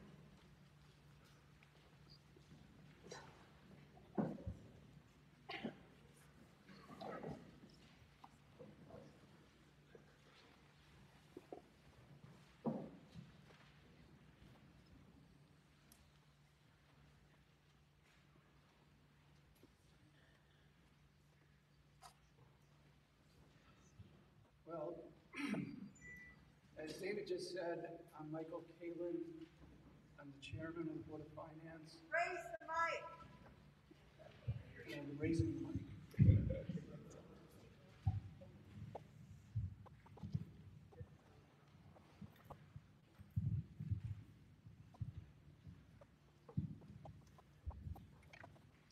Is that better?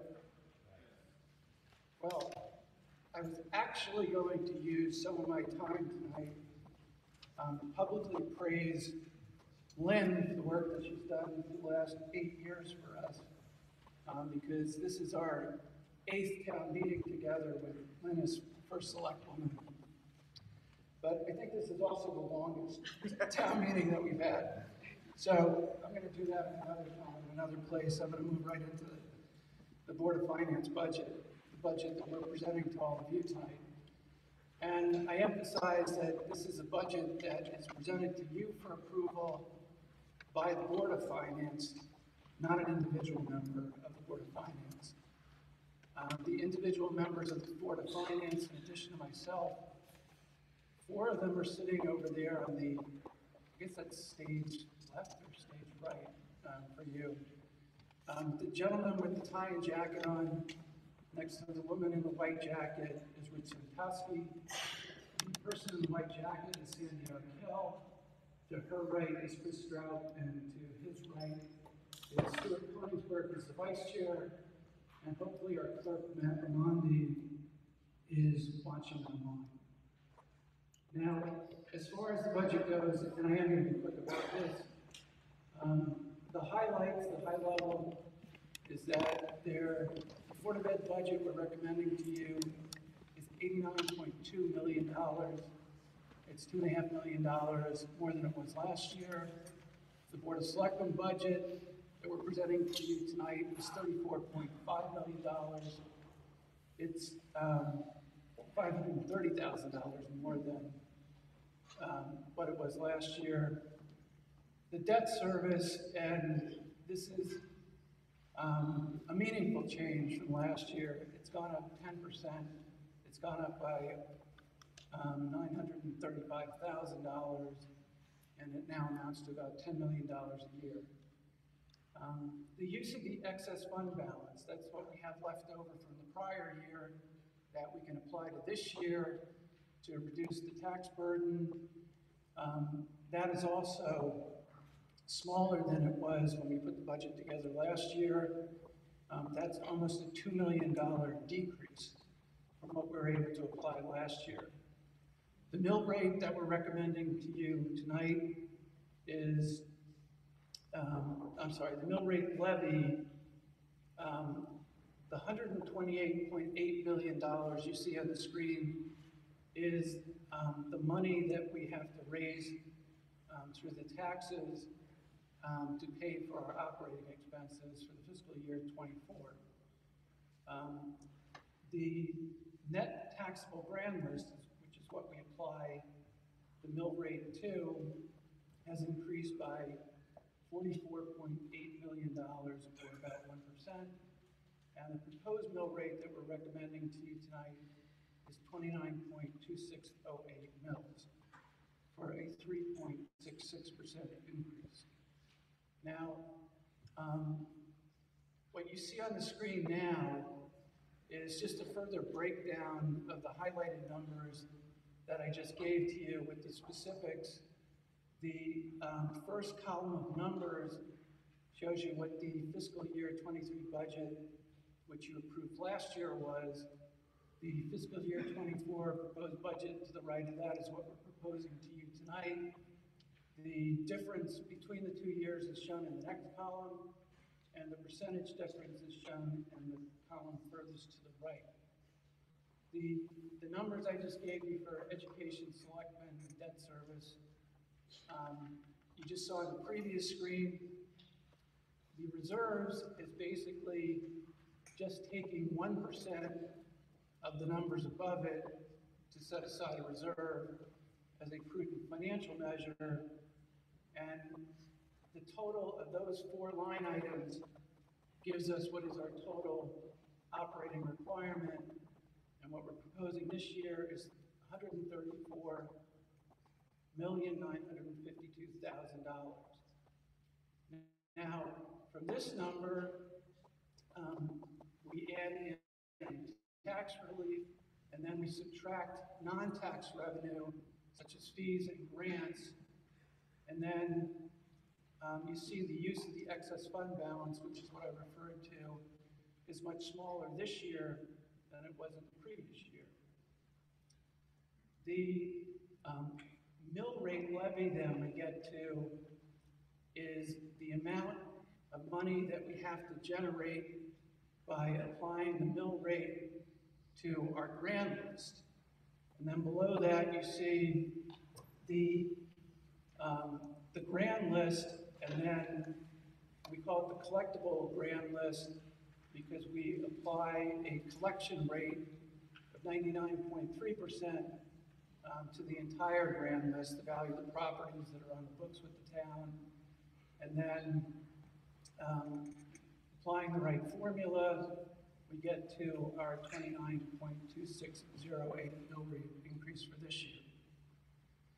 Um, just to just get a sense, um, proportionately looking at the pie charts um, of where the money is going and how we raise the money. Um, you can see, and again, these numbers just came from the previous two slides. The Board of Education budget we're recommending to you is $89.1 million. Municipal services is everything other than the schools. So it's police, fire, public works, social services, health, recreation.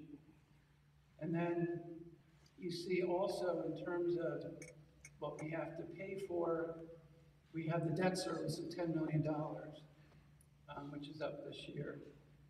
And um, then you also see charter authorities at excess fund balance that um, we were talking about before. The, um, on the right, you see um, where the money is raised from. 129 million is raised from the mill rate being applied to the grand list. The other revenue, the, the fees and grants are 5.7 million, and that reserve drawdown, which is what I was talking about before, is the 1.6 million. If you just want to get um, an historical perspective of where we've been in terms of the mill rate, and this is showing the mill rate as being between um, a low of, I'm guessing it's probably 26 um, to a high this year of pretty close to 30. The recommendation that we're making to you tonight is that we um, adopt, that you adopt um, an overall operating budget for fiscal year 24, 2024 of $134,951,927. And that um, we raise $128,830,004 of that through the mill rate. And then we um, have recommending to you the 29.2608 mill rate. And that's our budget um, recommendations to you tonight. And with respect to the bonding um, referendums that we talked about previously, the, those are presented to you by the Board of Selectmen. They, Board of Selectmen, before they present them to you, present them to the Board of Finance to give us an opportunity to object to them there was a reason for us to object to them. And when we met and deliberated on it, we had no objections to them. So with that, I think I'm introducing our select one.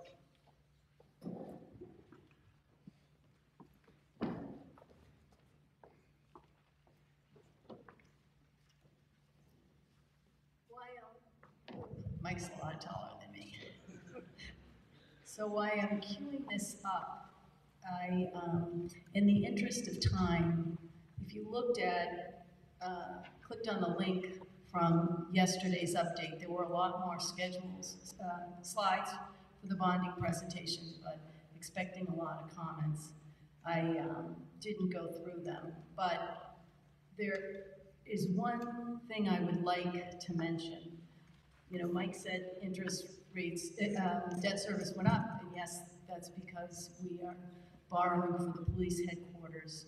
Um, in 2018, we had what was the high debt probably ever, which we had outstanding debt at 84.3 million, even with the borrowing of the police headquarters and with the, the plan uh, going forward, we're not going to get any higher than 77 million. You know, when I was on the Board of Finance, we always wanted to keep it under 80 million, so I'm happy that we're able to do that. And one of the big reasons we've been able to do that is um, we've received grants for $33 million for projects that otherwise would have been bonded. That's an absolutely unprecedented amount of money. Part of that is because there's more money out there um, because of some of the federal and state programs. But also, I just want to applaud our uh, DPW director when we hired him in 2019 as our town engineer and deputy DPW director. He got right on this. There was a, a program for uh, bridges. Uh, the state came in and they evaluated all the bridges, and we had a lot of bridge work to do. And we received $23 million. He got in line first. That money started to run out, but we were, as I say, there early. Fortunately, the legislature is talking about in the budget of um, putting more money in for the next couple of years because we still have more work to do, and everybody else that was behind the curve has work to do. But, you know, some other things, the pedestrian bridge, finally done. Um, we've, we've been able to invest a lot of money in the NRVT.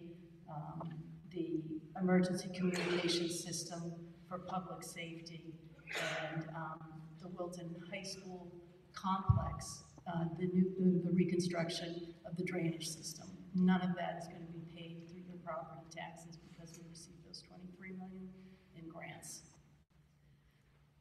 So, just that good thought. And we keep looking for more. So I'd like to first introduce my fellow Board of Selectmen members. Second Selectman Josh Bowman, red tie. Uh, sitting to the right of him is Kim Healy. Uh, all the way at the end in the light colored shirt is Bass Nabulsi. And then to Bass's left is Ross Tartell. So thank you to my fellow members, and I present this on their behalf and behalf of the town. So the fiscal year 2024 request is 34, almost 0.5 million. Uh, the request is 530,000 uh, more than last year. It's 200,000 less than we asked the Board of Finance for. It's okay, we knew you were going to do it. Uh, and it's about a 1.56% increase versus 2023. The four-year average annual increase is 0.46%, which I don't expect you're going to see that in the future. Um, part of that was the reductions that we made during COVID and a lot of things that were shut down as a result of COVID. But our eight-year average annual increase is 0.79%. If you've been coming to these meetings, you know that we've made a lot of significant changes in municipal operations. We combined some positions with the Board of Education to save money. Uh, we made, uh, back in 2021, uh, for fiscal year 2021, we did it just before uh, July 1 start. We changed the medical benefits for the employees. That had a huge impact of about almost $700,000. So for us, on our budget, you know, that's almost a 2% change. So, um, and we've done a lot of initiatives. That's been a big focus of reducing costs. And that's why you see such a low average annual increase. The drivers of the spending increase this year are wage increases, non-union um, general wage increase and incentive compensation. We have a pool that's equal to 2.75% of non-union wages. Our union contracts, the wage increases are anywhere from two and a quarter to two and a quarter. uh, to 0.75. That's the general wage increase. Uh, We have one additional police officer in the budget this year. Um, We had been at 45 officers back in 2015, probably, I forget if it was 2016 or 2017, we went down to 44, but we've seen a significant increase in, um, I guess, problem driving, I would describe it, and we've heard from a lot of residents asking that they want more attention spent on um, traffic enforcement. So um, we're adding an additional police officer. Our medical benefits are increasing by five and a half percent. They're budgeted for that. Um, As I said, we changed medical benefits for our employees with fiscal year twenty-one, and we're still lower. We're nine percent lower than, um, in our total budget for medical than we were the year before we made the change. Uh, We do have savings in this budget. Biggest savings is in our pension contribution. Um, We're now over uh, one hundred percent two years in a row. Um, So there's been about a four hundred and fifty thousand plus reduction in our defined uh, benefit pension contribution. All new employees are on defined contribution other than uh, firefighters. Uh, We also, um, as we've had a number of retirements over the last few years, and as we bring in employees, uh, new employees, they come in um, at a lower rate than those that replace. Our union employees, you have a wage scale, and then you hit the max, and and you don't uh, get increases for years of service. Somebody comes in, usually at the lowest, maybe if they're lateral hire, they might come in at third, third But, so that, that saves us money. And also, in reaction to the reductions um, from the Board of Finance, we are increasing um, program fees with Park and Rec to absorb more of the overhead. Um, We don't allocate hundred percent of overhead when we uh, develop those fees. So this is a breakdown. You can see the impact of the pension contribution. It brought wages and benefits down to only a one point two percent increase despite what I told you about um, what those um, pay increases will be.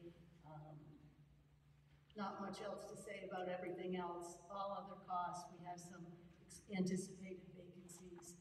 We're right now, I'm sad to say, we're at forty-one police officers right now against the forty-five. So we, we budgeted all the police officers, all forty-five of them wages, but we know it's gonna take us some time to be able to fill those uh, positions. So that's some of the vacancy that we've budgeted there in savings. So just like with bonding over the last uh, couple of years, uh, the Board of Selectmen has designated some of our ARPA monies, and also we had prior year savings, primarily related to COVID, um, and we've investing it in infrastructure. So this list is projects that have been funded through those sources. It's about, we funded more than two million. I don't have all of them here, but kind of the, the, you know, bigger ones here. Um, and they're either in process, like the, uh, parking lot at Schenck's, that construction's happening. Um, we've already repaved Quarry Head. I think we're finished with that. But these are all things that are happening, again, not running through any budgets because, um, they're being, or any additional budget because they're being paid for with grants or savings that we had in previous budgets. Um, things to definitely think about for the future. As I said, the police shortage, it's very concerning. Um, we're having difficulty, every town is having difficulty, we're all competing the same people. Um, and so, you know, we've had some officers that are leaving New York City, which is great because then you um, are able to bring somebody in that doesn't have to spend nine months in the academy. Um, But um, we're losing a lot of those offers to communities that have a defined benefit plan. That's just the truth. They're coming from another municipality that has it. So we're working hard. We've got an amazing police department and um, our new chief, Tom Conlon's doing a great job.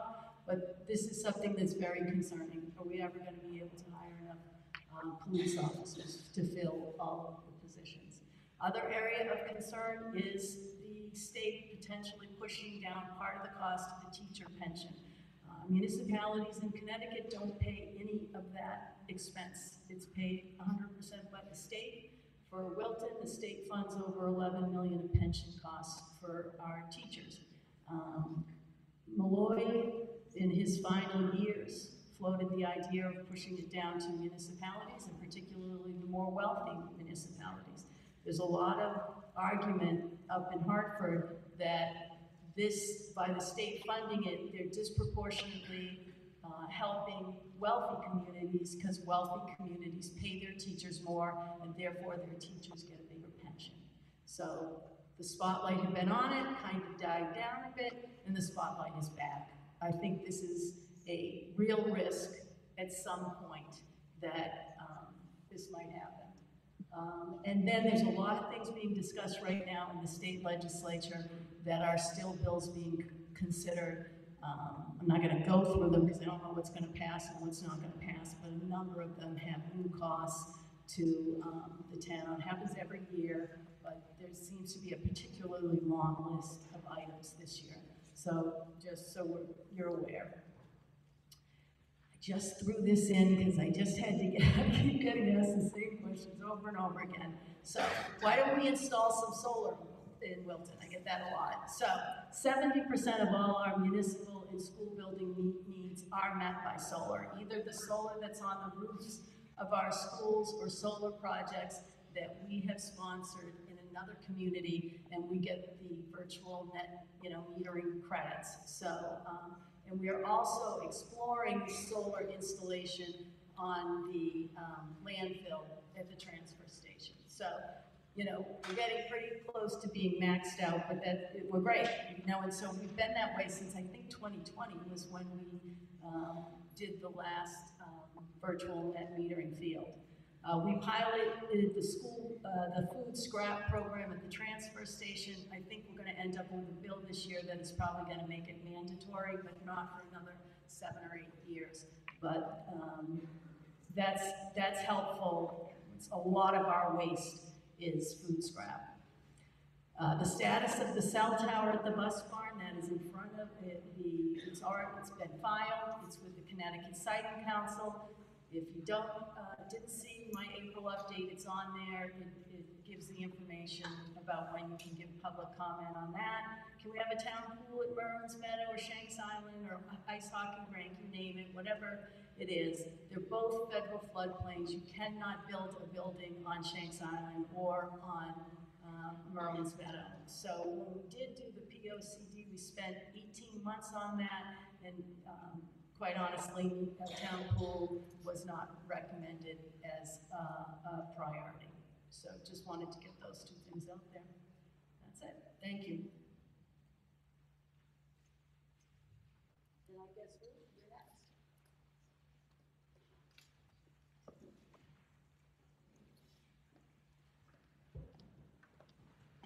Get rid of mine.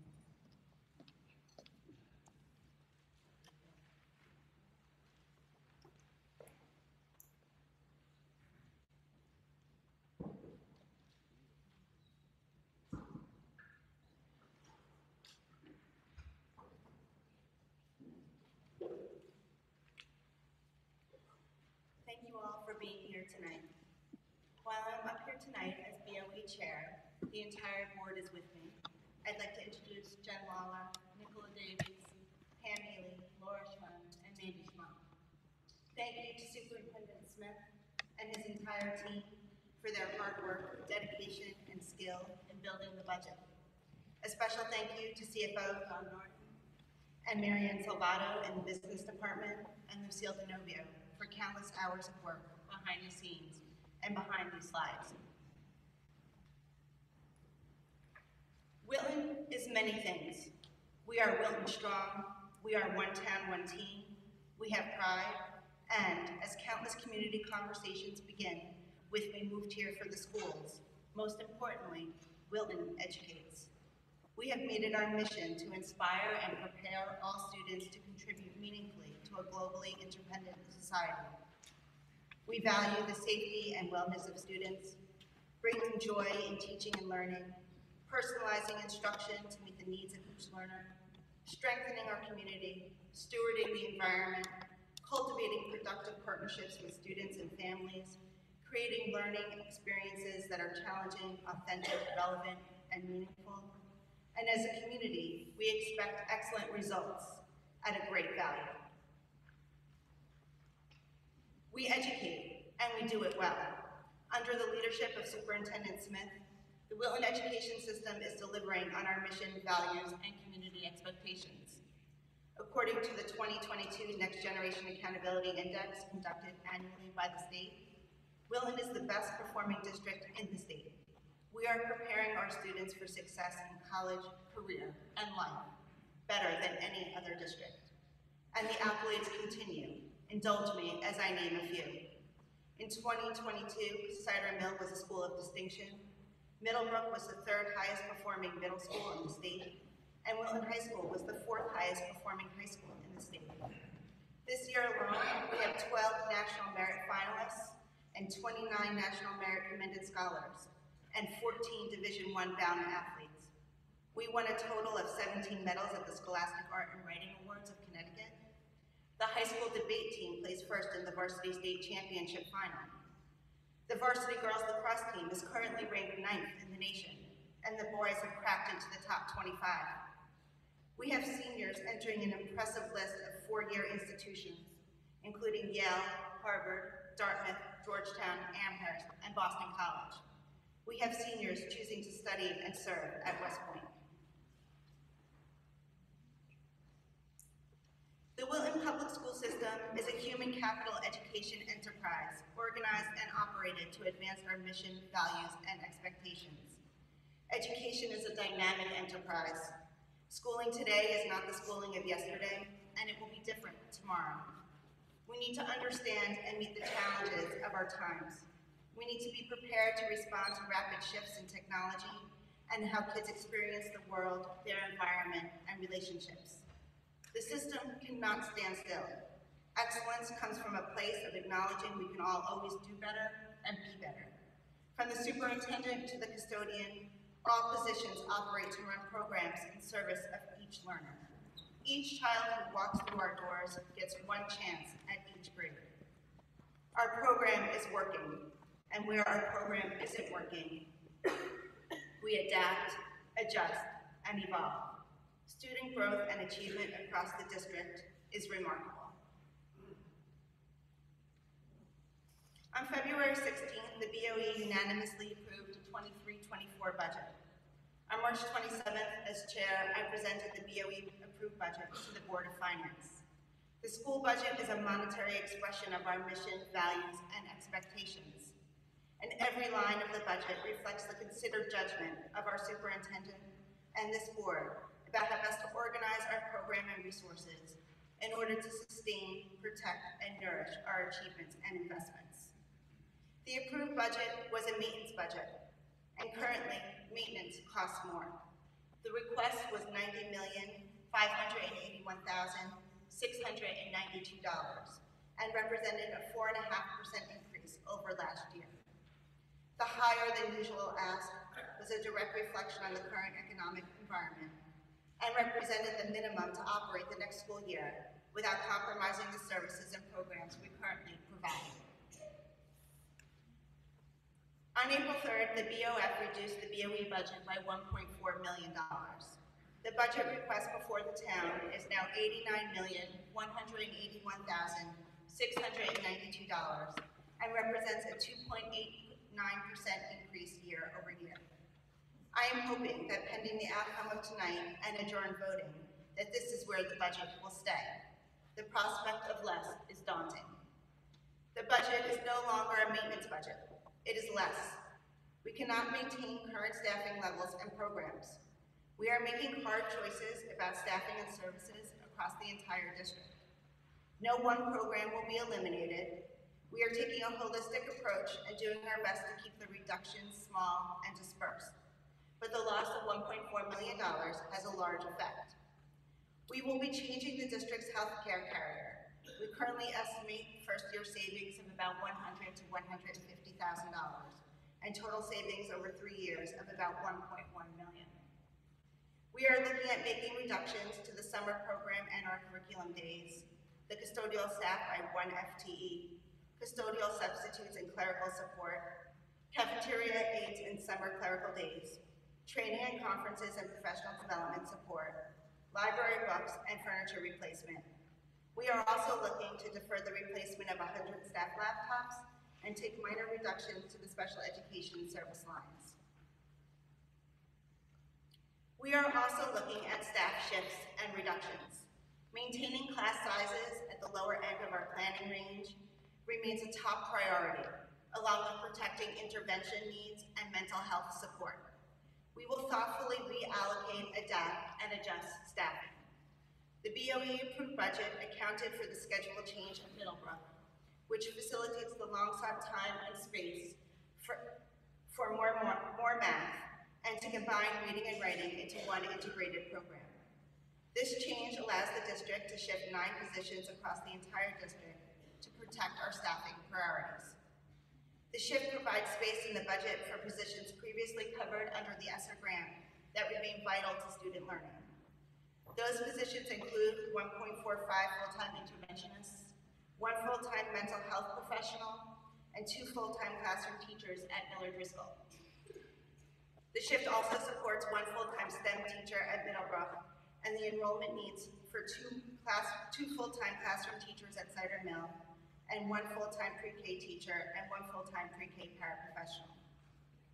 We are also looking at making additional staff reductions, including eliminating the equivalent of one certified FTE at the high school, eliminating an instructional coach at Miller Driscoll, eliminating a 0.6 strings instructor for one year at Cider Mill, eliminating a 0.5 science paraprofessional support to Cider Mill and Miller Driscoll, reducing the director of digital learning position by 0.4, eliminating 1.5 library paraprofessional FTE, and reducing teacher stipends for clubs, activities, and intramurals by 50%. Currently, total FTE loss stands at 6.6. And what about cost per pupil? Per pupil expenditure does not tell us how much a school system spends to educate each individual student. Some students cost more and some cost less. No student is turned away and all benefit. Cost per pupil solely measures the total cost of the system per each student enrolled, and it does not often correlate to the overall quality of a program. If enrollment declines, district per pupil spending typically increases, even if programs, infrastructure, and service levels stay the same or improve. A school can even have a year-over-year -year lower budget and still show an increase in per pupil expenditure. Under both PPE models used by the state, we are within our district reference group average. Over the last eight years, 2015 to 2022, the average increase in our budgets is a lean 1.27%. Over the last nine years, Wilton's annual budget growth rate is almost half than our next closest comparable district. We stand at 13%, and then Weston and Westport are at 24%, Darien is at 26%, New Canaan is at 28%, and Ridgefield is at 30%. The change in average growth for fiscal year 24 has Wilton at 1.66%, with Weston next at 2.45%, and Ridgefield at the top with a little over 3%. What could our program be? Improvements could be made at a faster rate. Students and teachers could have more targeted support and enrichment. Principal requests for more staff and support wouldn't be consistently denied. Budgets wouldn't be frozen in September, and needed purchases wouldn't be pushed or delayed. There's only so long you can do more with less. Degradation over time is real. We are now reducing staff and services. We no longer have to pause and ask ourselves what a reduction would do to our programs and services. We are living it.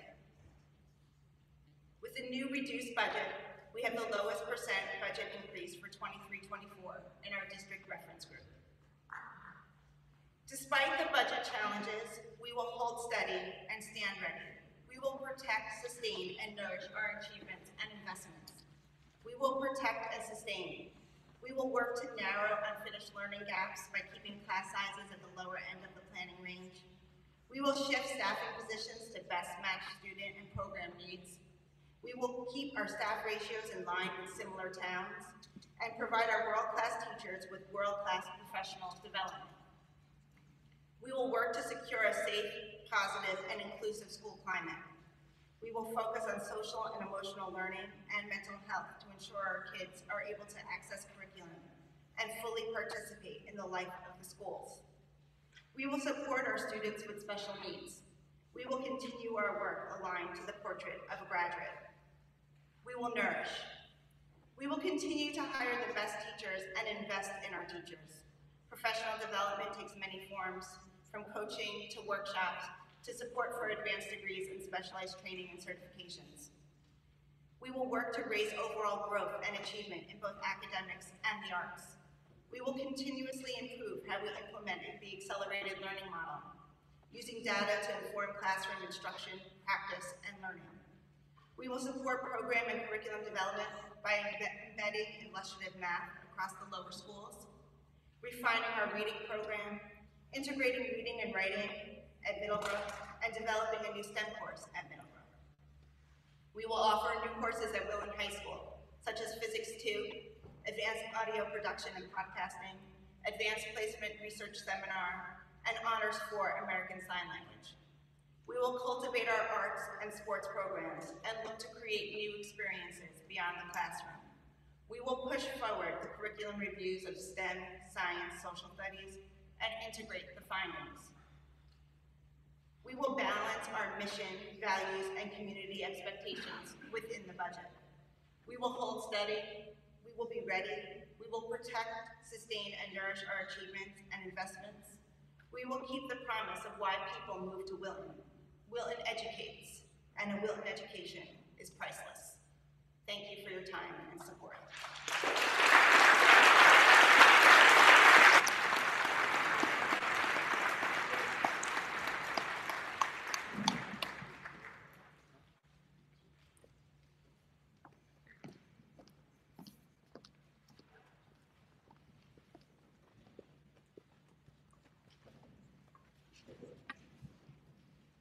At this point, I'll ask, at this point, I'll ask Michael Kaelin uh, to make the budget motion that is before us.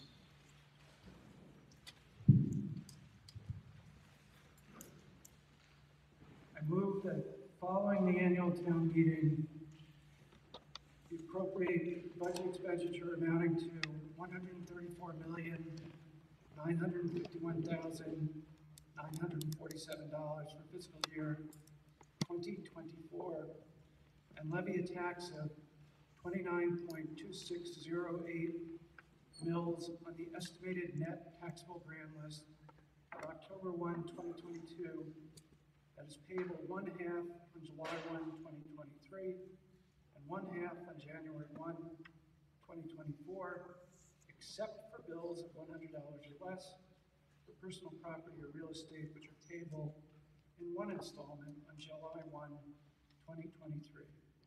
Taxes on automobiles shall be payable in one installment on July 1, 2023. So moved. Thank you.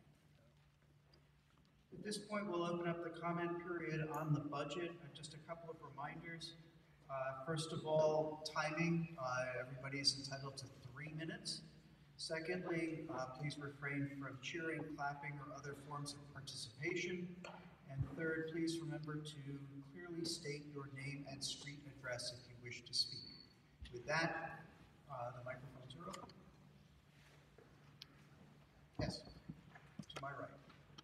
Alan Davis, Three Salem Road, Wilton. Uh, I'd like to ask a question.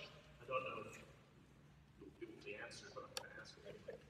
Um, why did the Board of Finance feel compelled to cut $1.4 million from the Board of Education's main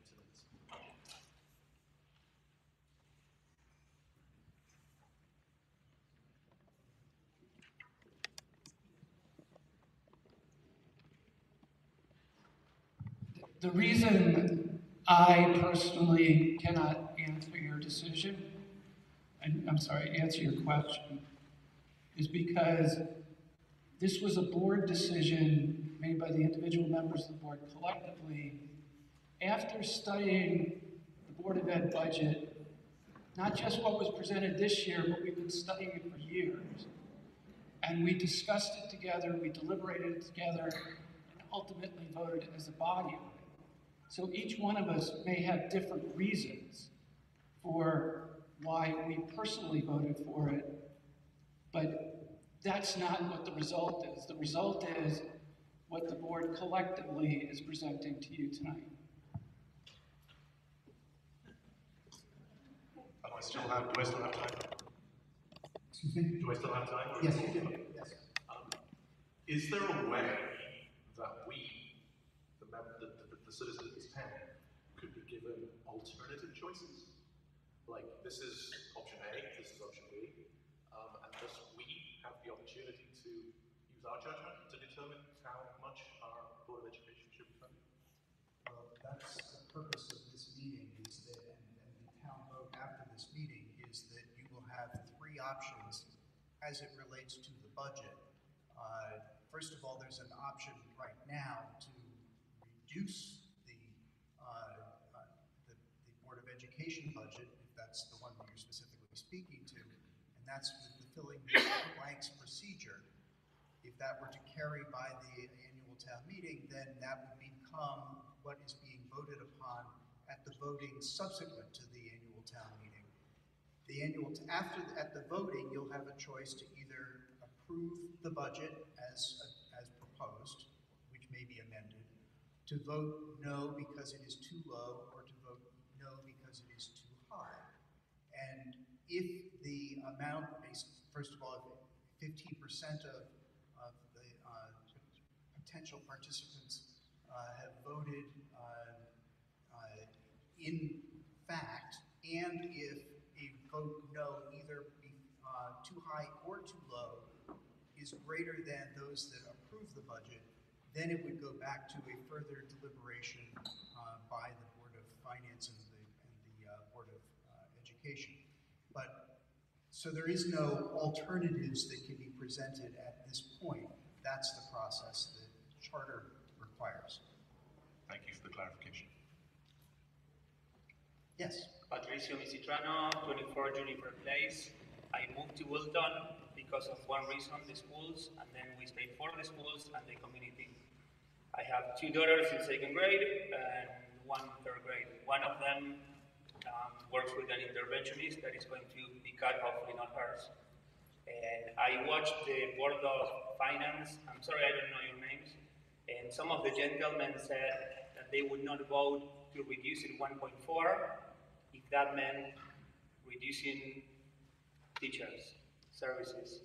So that's not what's happening. As we saw in the presentation, there's a lot of reductions, and the 1.4 is going to be cut across the entire board, which means less teachers and less services for all the, the students. So congratulations. That was being sarcastic.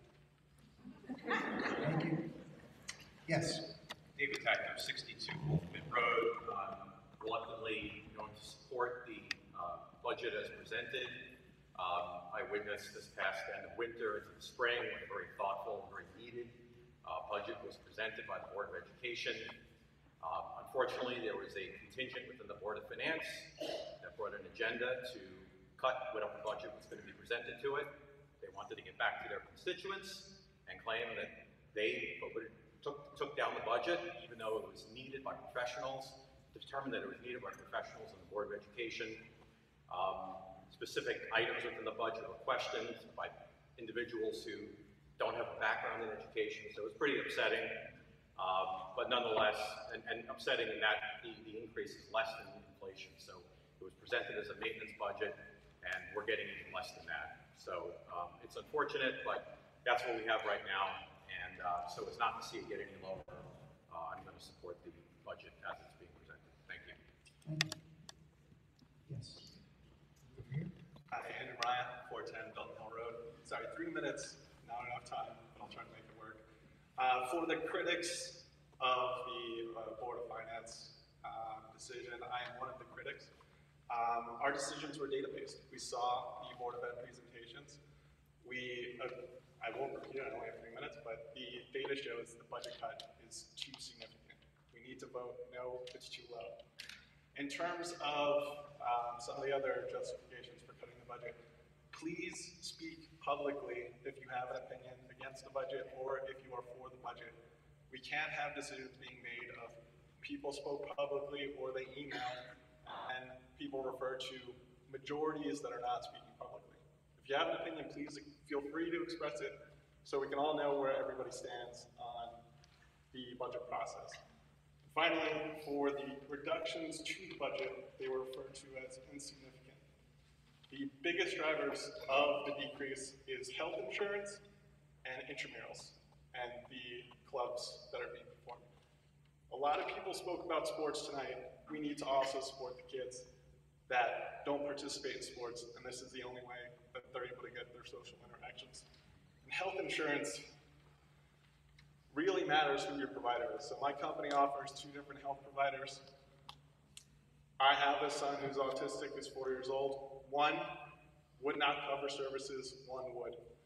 So I'm fearful for the teachers who will now have to make tough decisions if health insurance is going to change for them and they're not going to be able to get the services that they need for themselves or their children. Thank you. Please no comment, please, no clapping. Please, Let's get through this. Okay, next. Hi, my name is Laura Pascalides. I proceed, preside at 38 Chestnut Hill. I'm here to say that I'm saddened that the proposed BOE budget was not approved. We are losing so much because of that decision. One of the things I'm sad about is next year, when we are speaking to the freshman class, that we can say without certainty that they will find a place. Every year, the PTSA president and the high school students, when addressing parents and students in their moving up addresses, say over and over, don't worry, your children, your children will find their people in high school. There's so many clubs and activities that they will find a place to fit in. Trust me, there is something here for everyone. And if they and if they don't, they can grab a few people, a sponsor, and start their own club or activity. There are so many students that fill our student body that are not a part of sports, that are not a part of the music department, and not the honor students. They need to feel that they belong. And now I'm worried that half of the club budget is being cut, that some of those kids are going to be left out and lost. In a time when the mental health issues are at the highest, this is a huge concern. All of our students need to feel they belong. Some of you mentioned that you believe coaches are unnecessary. Let me give you an example of the importance of coaches. With AI taking up and the rate for which we are constantly changing and advancing, we as a school and our teachers need to be versed in how to handle in a classroom and through the curriculum. It will be our coaches going to seminars, workshops, investigating and coming back to our teachers and teaching them what they learned and how they can handle this rapidly evolving situation. With no coaches, this process would fall on our already overworked teaching staff. It wouldn't get done, or the teachers would have to take time out of the classroom to be learning how to address it, and this would end up in lost teaching time. This is one of the many, many reasons coaches are helping our school. The BOF, I ask you please to be more present in our schools. Attend our PTA meetings. Participate, participate in long-term planning. Go to the parent planning meetings at the beginning of the BOE budget. Ask to attend personal development staff meetings. Listen to what is needed. Listen to all the items and areas that are not even close to being addressed in this budget. Listen to where we as parents that move into this town or the schools want for our kids and are willing to pay for it. I am in support of the original budget, but I'll be voting for the 1.4 million cuts in fear of it being cut more. I would ask you please, though, next year, to leave that decision up to our town by putting the original budget on the ballot and letting the people of this town decide. Thank you. Thank you. Please, please stop, please. Yes. Josh Kesselman, 241 Catalpa Road. Uh, I'll keep this brief. I came here, you know, work we've done, and don't have much time in the evening to protect my school budget. It's sad that was already cut from what was well thought out budget. I will vote for the existing budget for fear to be cut more. I feel like Board of Finance did us a disservice where this meeting allows the town to cut the budget, but they saw fit to cut it ahead of time from a well thought out professional opinion on the budget. Thank you. Yes. Susanna Chironi, 29 Kensett Avenue. First, I want to thank the Board of Education for their well-thought-out bud- budget. Um, I am fully in support of it, in support of the original budget, in support of a higher one, actually, I believe in our schools. I don't think we should be maintaining, I think we should, I think we should be trying to excel. And I'd also like to ask a clarifying question on the procedures for voting. My understanding is the options are to vote yes, as you said, to vote no, to vote no too low, and to vote no too high. My question is, the votes then get aggregated for no as a total. Low, no, and high are voted together, and that gets sent back to the Board of Finance. And they're the ones that ultimately decide what happens with the budget at that point, is that correct? No, no, it's not. There would be a revi, there would be a continued town meeting at that point, and there would be then yet another process to, for the Yeah, why don't we public let Ira answer? Because it's all laid out for town. Yeah, this is all governed by the charter. Um, Don't forget, you need fifteen percent to, to, uh, to have it passed as a rejected budget. If that happens, it goes back to the Board of Finance uh, for a- a re- reassessed, a re- reconsidered, I guess it's called in the charter. It's all set out in the charter, a reconsidered budget. And the section says that the Board of Finance will consult with the Board of Education and with the Board of Selectmen. And then the Board of Finance will make another consider, uh, another judgment on a reconsidered budget. They can reduce it, or they can increase it. Um, There is then another section which allows the Board of Selectmen to have essentially a veto power over that Board of Finance reconsidered vote by a vote of four members of the Board of Selectmen. And they have to, I think, find other places to reconsider. So it gets a little bit complicated. It then goes back to a reconvened town meeting like this. And the town meeting will then basically vote and decide. I think that's where the process ends. Thank you for that. I would just like to point out that it seems that we have a Board of Finance that has throughout the deliberations this season made it very clear their stance on the budget for the Board of Ed. And so if voting no too low, of course, meeting all the hurdles set out, we still run the risk of it going back to them for final deliberations. And they have not shown any interest in increasing the school budget despite a lot of outspoken parents when it comes to all of these town meetings just like to state that that seems stacked against parents and the Board of Ed. And I should like to point that to everyone here.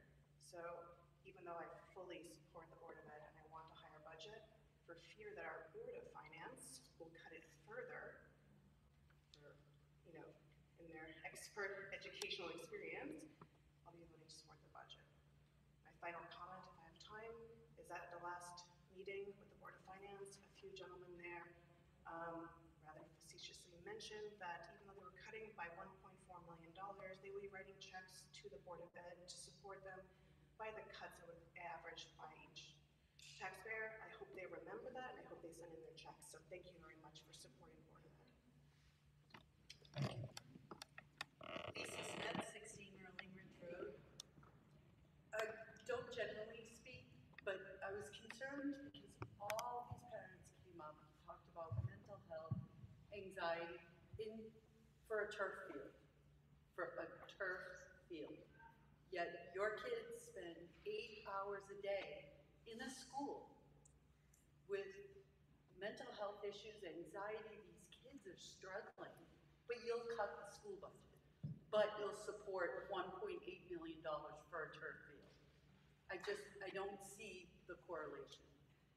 So I don't.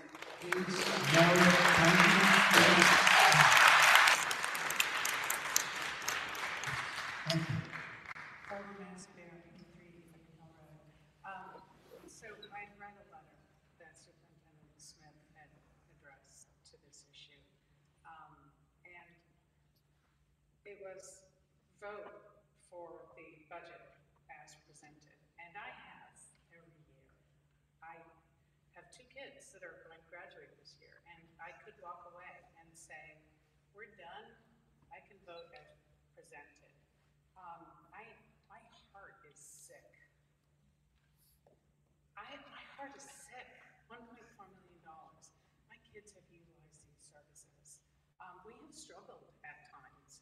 If we had not had interventionists, if we had not had the services, mental health services, especially these last few years, um, one of my kids would not have made it. So we're cutting an interventionist. Our mental health services are going to be affected. And I am torn. I am so torn, Dr. Smith. I can't, th- there's part of me that says, I can't say this is okay by supporting the budget as presented. Because I know there are kids who may not make it. And yet, I have officially lost faith in our Board of Finance this year. And that pains me terribly, because I'm not moving out of town. My kids are going to college, but I'm not moving out of town. And I need to trust you, and I have lost faith. And that grieves me, and I just don't know what else to say. I'm gonna wait till Saturday to vote, because I cannot make that decision tonight. And we're neighbors, so we may have to talk. So, thank you.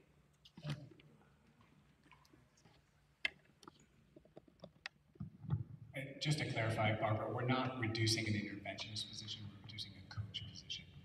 Okay, good to know, thanks. Yes. Hello, my name is David Mentia, 33 Canterbury Lane.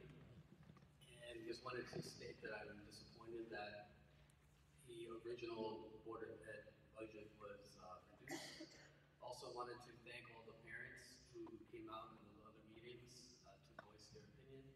One takeaway for me, it's the first time that I'm involved in this process, is that us parents need to get more involved and spread the word because many of us are working.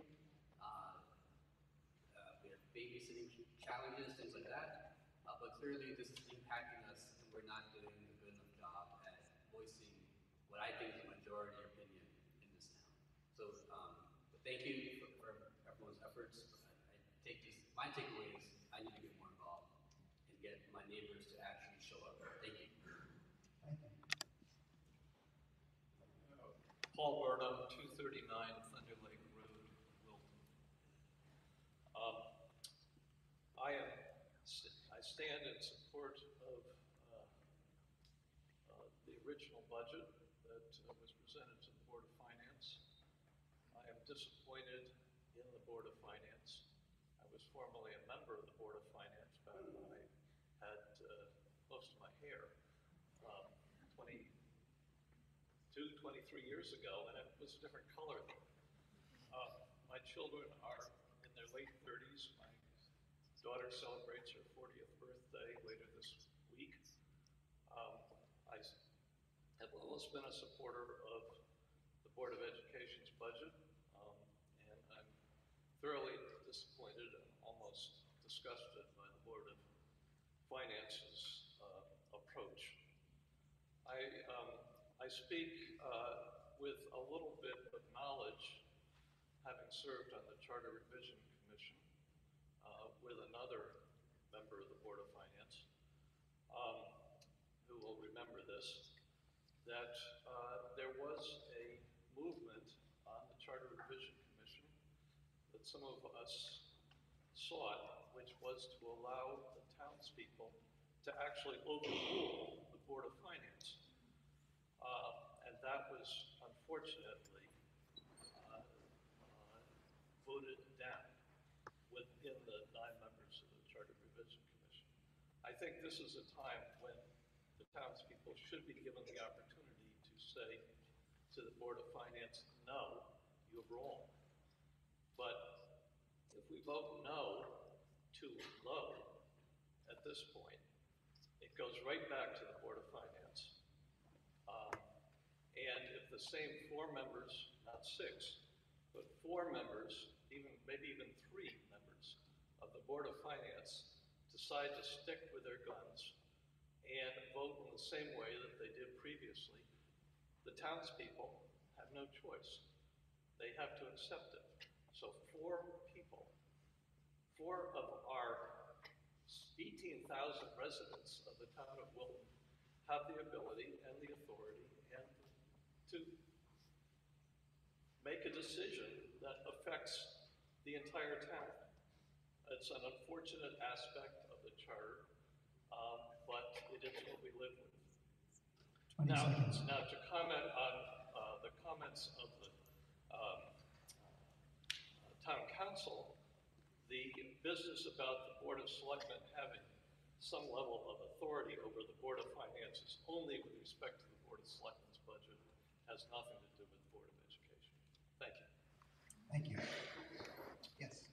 Um, Tom Dexter, 36 Mill Lane. Um, As I listen to all this, um, you know, I think we all have to recognize we might have a revenue problem here. And we need to find ways, alternatives, ways to raise money for some of these programs that are being cut. In the case of athletics, we have booster clubs and other uh, private monies that go towards supporting, and in some cases, we have private funds that support over 50% of our athletic budget. Is there, is there a mechanism here in town that we can do that for, whether it's STEM or uh, special services or whatever the case may be? Do we have the mechanism to actually go out and raise uh, specific monies privately for these types of needs? So when we come to situations like this, um, I know we're all frustrated, but, you know, presenting a problem, maybe we can present a solution. Is that a solution? I know that higher education, uh, colleges and universities, public, are relying more and more on a public-private partnership or, or private funds to fund their operations, fund their education. Do we have the ability to do something like that here is my question. And if, if- if not, you know, or if we can, why aren't we doing it? Tom, yes, you can. Uh, there, all of the um, PTAs, the PTAs, they all uh, do fundraising along. Um, the Wilton Ed Foundation is an organization that also raises money so people can donate um, through those organizations. I think one of the bigger questions, at least for me, is um, what should a municipality be funding in terms of school services? And so, you know, as the Board of Ed is contemplating donations, I think that's a question that has to be contemplated as well, but we certainly have a mechanism to uh, raise funds presently. Well, maybe, maybe, uh, you know, more light shined on it and energy behind it town. Let's figure something out. Thank you. Steve Smith, Six Glen Hill Road. I rise in support of the budget for the reasons Paul expressed. It's not a happy support, but nevertheless, I think it's an important support. I rise in support for reasons I've already expressed in letters, and I won't repeat here, and has been eloquently expressed by others in any event. What I do want to underscore is an outstanding presentation by our Board of Education Chair with a number of compelling slides. The one that I found most compelling was the one that lists the percentage changes, both this year and in previous years, for the other schools that we consider comparable to us, the half dozen or so of them in this area. The percentage differences are stark, and Wilton is at the bottom of those lists, both this year and in past years. That is not a pattern that is designed to contribute to the health of our educational system.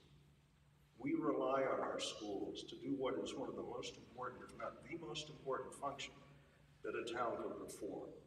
And that is to educate the next generation, prepare them to be the leaders we want them to be. You can't do that when you withhold funds from them. You can't do that when these awful choices have to be made that are reflected in the cuts that the 1.4 million represents. That's not supporting our kids. That's supporting the opposite. And that would be terribly, terribly unfortunate for a town to continue to do. So it is with great reluctance that I support this budget, but I do so understanding what the consequences are, as Paul Burnham outlined them very, very carefully. Thank you. Thank you. Yeah, that mic over here. Dean Keister, 933 Ridgefield Road. Chicken Little was right. The sky is falling. I came to Wilton in 1989. At that time, my kids were in their 40s, so I have paid for a lot of kids going through school, not one of them mine. Every year, the same kind of discussion comes along about how things are going to go to hell in a handbasket because we're not paying enough. But every year at the beginning, the presentation shows how great the schools have been doing, how many accolades, how many schools they've been to, how many merit scholarships we have. So we must be doing something right. And I think the counterplay between the Board of Finance and the Board of Education is a healthy one. And that's all I have to say. Thank you. Yes. Please come. Hi, um, my name is Sarah Beach. I live at 11 Amber Lane. Um, I wasn't going to stand up and speak, and I normally like to speak at these things. But I just wanted to um, stand up and support um, the Board of Education and the administration of the schools um, and say that um, I've been appalled to read about some of the really difficult decisions that have had to be made um, since the Board of Finance um, cut the proposed budget. Um, and I think everyone in this room should think about the fact that, you know, 0.5 of a librarian uh, or a media um, facilities person. Maybe doesn't sound like that much, um, it's probably only a small amount of money, but to the kids that interact with that librarian every single day, um, it's a huge, a huge loss for them. And I think um, those National Merit Scholarship finalists, those kids we're talking about, you know, them. And the kid, the school has done a really good job, but it's because of all the different things that are on offer. It's because of the music department, it's because of the theatre, it's because of all the um, clubs and activities and all the things that make my child and other people's children into well-rounded students. And the more we cut these budgets and the more difficult decisions that our um, superintendents having to make, the less opportunity these kids are going to have to have those well-rounded experiences these um, these incredible adults that we all want them to become. So I will be supporting the budget because I don't want to see it cut any further, but I did just want to go on record and support um, the Board of Education, the administration, and say that I wish we were all giving more support in this town. Thank you. Yes. Hi, uh, Reza Zamani, 48 Railroad Drive. Um, I'm really uh, very unfamiliar with uh, uh, these processes, of, this process of uh, making decisions. Uh, it's my first time here. Um, but uh, the first in the line asked a question about the reasons for this budget cut, and uh, the answer from uh, the gentleman in the Board of Finance was that there were different reasons uh, uh, from by, by different members of the from different members of the board. Uh, well, if the reasons are not transparent, um, then it will be difficult to uh, make a decision, a judgment for us, I guess, uh, before giving uh, votes. And I mean, for me personally, um, there's a question now that why, instead of decreasing the budget, why the budget of public education is not increased. Thank you. Yes. Tubton Tangney, uh, 212 Wolf Pit Road, living right across from Miller Driscoll. I see what happens every single day in school. Um, I'm here again to support the budget. Reluctantly, hopefully, it wasn't cut down to what it is right now. But again, I also see that from talking to many people, we've said that a lot of times we see that parents aren't the majority of this town. There are a number of people that don't have kids in the system now. But, and I've heard a lot about having us parents to step up and try to make up for whatever funds that have been dissolved by whatever reason to support our kids. I stand to you here as a representative of also the PTA and also a nonprofit organization in Wilton, and we've tried our best to raise funds. We've tried to do our duty as a parent in this town. But again, it will not be to the amount that has been decreased and what we have been struggling just to stay, stay afloat. If we want to be competitive in this whole area, do we really just want to stay afloat? And this is something I want many of you please take away and think about it. Thank you. Thank you. Yes. Sorry, the mic is too tall for me. My name is Joan Sue Kim. I'm at 148 Deer Run Road. Um, I also support the Board of Education budget. I think it's, it's too low as it is. But the comment I really wanted to make is if we're really going to look at the data, if we're really going to look at what the sentiment of the people of the town is, I want to mention that the Board of Finance survey that is put out is completely disingenuous, I think.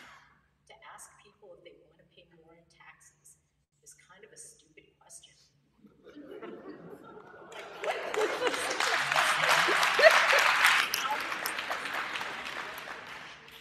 valuable, where we think resources should go.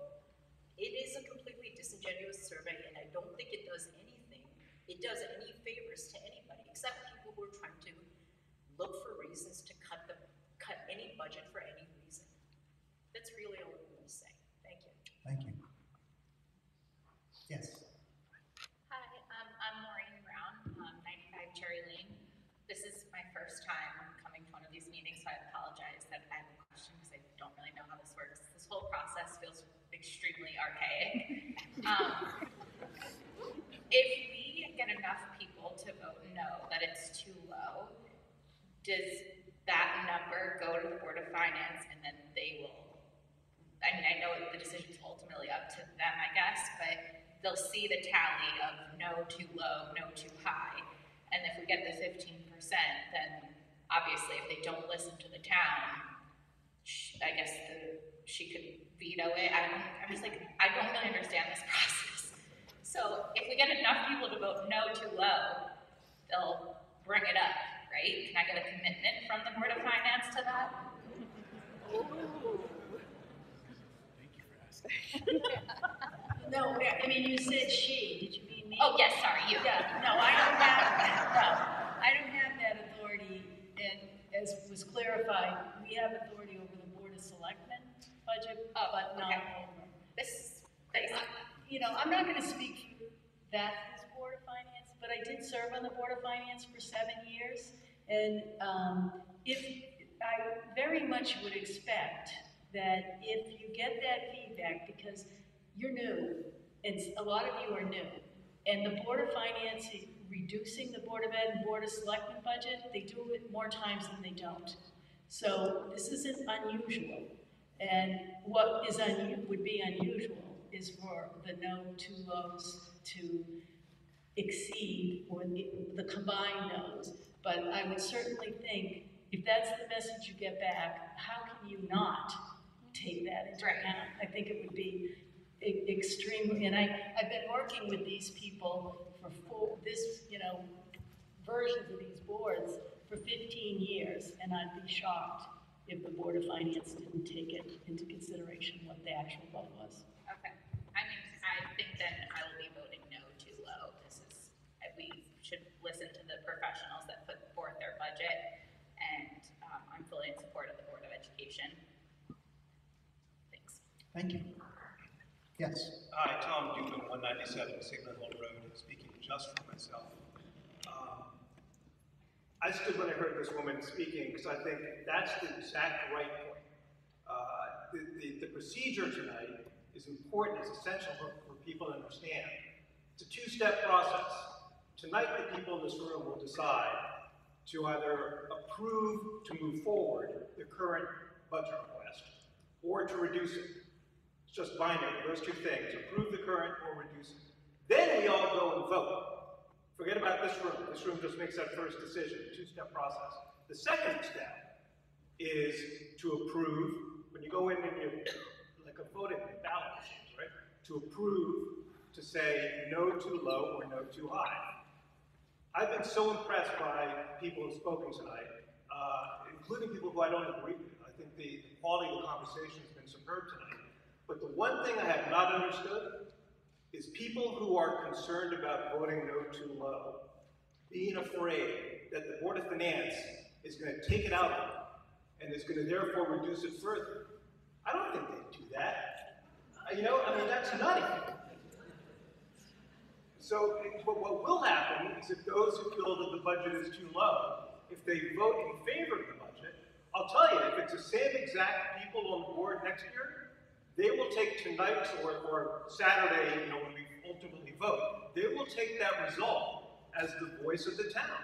They're taking the questionnaire, I agree with the comment that the questionnaire is, you know, not strong, not scientific, but they're taking the questionnaire as the voice of the town. The real voice of the town will come in the vote. So, you know, regardless of how I'm gonna vote, make up your own minds. But if you think the budget is too low, don't be afraid of voting, vote no too low. Thank you. Uh, Hill Road. Um, I just wanna, uh, I got up to, um, actually say things I believe that Tom just said. Which was that, um, the, the idea that anyone would vote under the concept of a threat. The threat that if you voted no too low, then the Board of Finance is going to be vengeful and cut the budget more is ludicrous. I mean, do we really want to have elected representatives who would do something like that in this town? So there's actually, I'll add one more step to Tom's process. Step one is what we're doing tonight. Step two is going out and voting tonight and on Saturday. And step three is if people would do something that audacious, vote them out of office. That would be something that we could all do if they vote, if we say vote too low and they then lower the budget out of vengeful tact. So I, I just don't really understand that. I mean, I've had five kids um, go through the Wilton Public Schools. They've all done wonderfully, but they've done wonderfully because of the range of experiences they've had, not just because of you know one class or one counselor or those types of things. And that's why I moved to this town. I uh, was on the board of finance in Easton. I chose to move to Wilton because we couldn't get the school budget passed. And so um, I, I, I've lived through this, and I encourage you all to vote no too low. Thank you. Yes. Good evening, Jim Kenyon, 44 Baldwin Road. Um, Also, uh, I guess I've been in town for 20 plus years. Two boys who have gone through the school system, throughout the whole life cycle, they're both in college right now. Um, Also, I volunteered to join the Wilton Education Foundation, so if anyone wants to join or donate, um, please see me later. I'm going to vote um, for the school budget as it is. I wish we had the original budget, but I don't want to throw things in chaos. And going back and going through this whole process again, we need to move forward. And hopefully, the PTA, Wilton Education Foundation, and other organizations can help absorb some of this. And hopefully, going forward, the Board of Education will be able to have a stronger budget in the future. Hopefully, the Board of Finance will reevaluate everything that they have heard tonight. Maybe send out another survey that is perhaps a little more comprehensive. Um, so I'm going to vote for the budget as it is, and I just want to say thank you to the Board of Education, thank you to the Board of Selectmen, thank you to the Board of Finance. Everybody's a volunteer. It's a tough thing to do, whichever side you uh, you kind of view things on. So thank you for all the time you put into this. So I I spoke, but one second. Hang on, before you speak, is there anybody else that wishes to speak? Okay.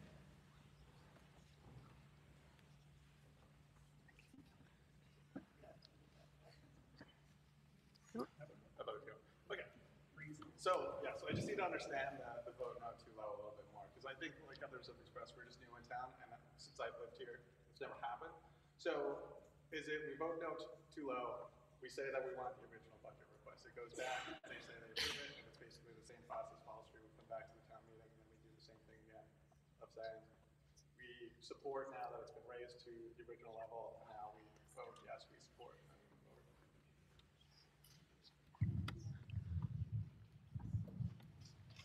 Again, um, you have your options tonight and next Saturday. If there's fifteen percent and the total number of noes exceed the yeses, then it goes back for this reconsideration to the Board of Finance. They can reduce it further, or they can increase it under the charter. It, it it is correct, the gentleman before, the Board of Selectmen will have no say in this Board of Ed issue at that point. And depending on whatever happens, but from the Board of Finance, you'll come back to a reconvened town meeting such as this, where you can vote for what they propose, or you could reduce it, uh, but you cannot increase it.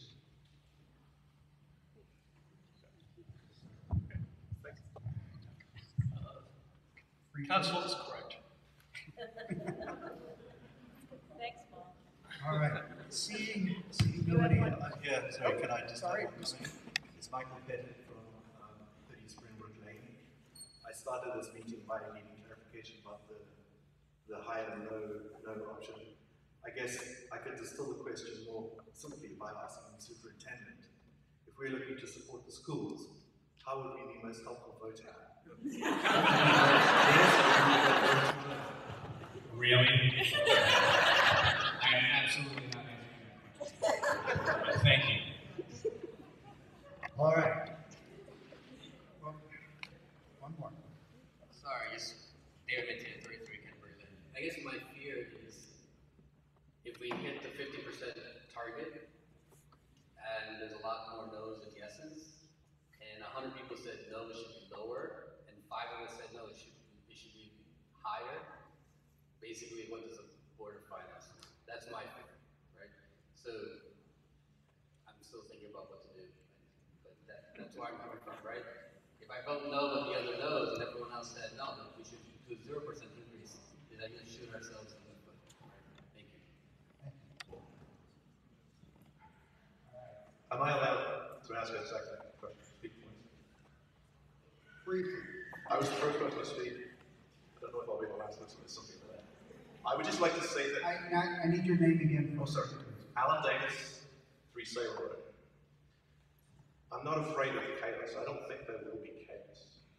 Right? I, I, would like to impeach people, entreat people. rather Please address, please address us. I would like to treat everybody in the world to vote what they believe. If you think this budget is too low, vote no too low. Do not be afraid of what will happen. What will happen is called democracy. Okay? If you believe this budget is too low, vote no too low. I don't want to, I, I would be personally upset if anybody here compromised by voting because of what they're afraid might happen. I entreat everybody to vote what they believe. Thank you. Hi, Sandra Tony, 29 Kansas Avenue. Uh, This is more of a question, I guess, for Lynne and maybe the gentleman next to you. Why is there a, why is there a no too loud, no too high, and just a no? Because I think it would make much more sense to understand the will of the people if it was no too low or just no too high. Because that simple no leaves a lot to be interpreted.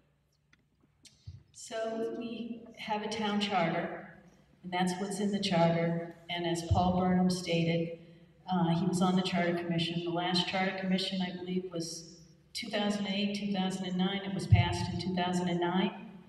That's what it says in the charter. It's the law. It's what we have to do. Now, we could, it would be the Board of Selectmen that would reconvene the charter. You open up the entire charter. It's about an 18-month process. There's a whole legal aspect to it, and we may decide to do that. Um, You know, there's been talk about it, except it's an extensive project, and you don't know what you're gonna get, because you appoint these different people, and, you know, they might not recommend what you recommend, but it's something that may get done. And so, but right now, that's the rules under which we operate, because that's what's in our town charter. And the charter, by the way, rec- is recommended by the Charter Commission, and then it's voted on by the public, so what we had was passed by the public. Thank you. Yeah. Thank you. The Question is called. Uh, I don't see anybody else that wants to speak anyway. Is there anybody that wishes to speak? Last chance. All right, hearing none. The motion that has been made and seconded, which has not been amended, is that following the annual town meeting for the appropriation of a budget for expenditures amounting to one hundred thirty-four million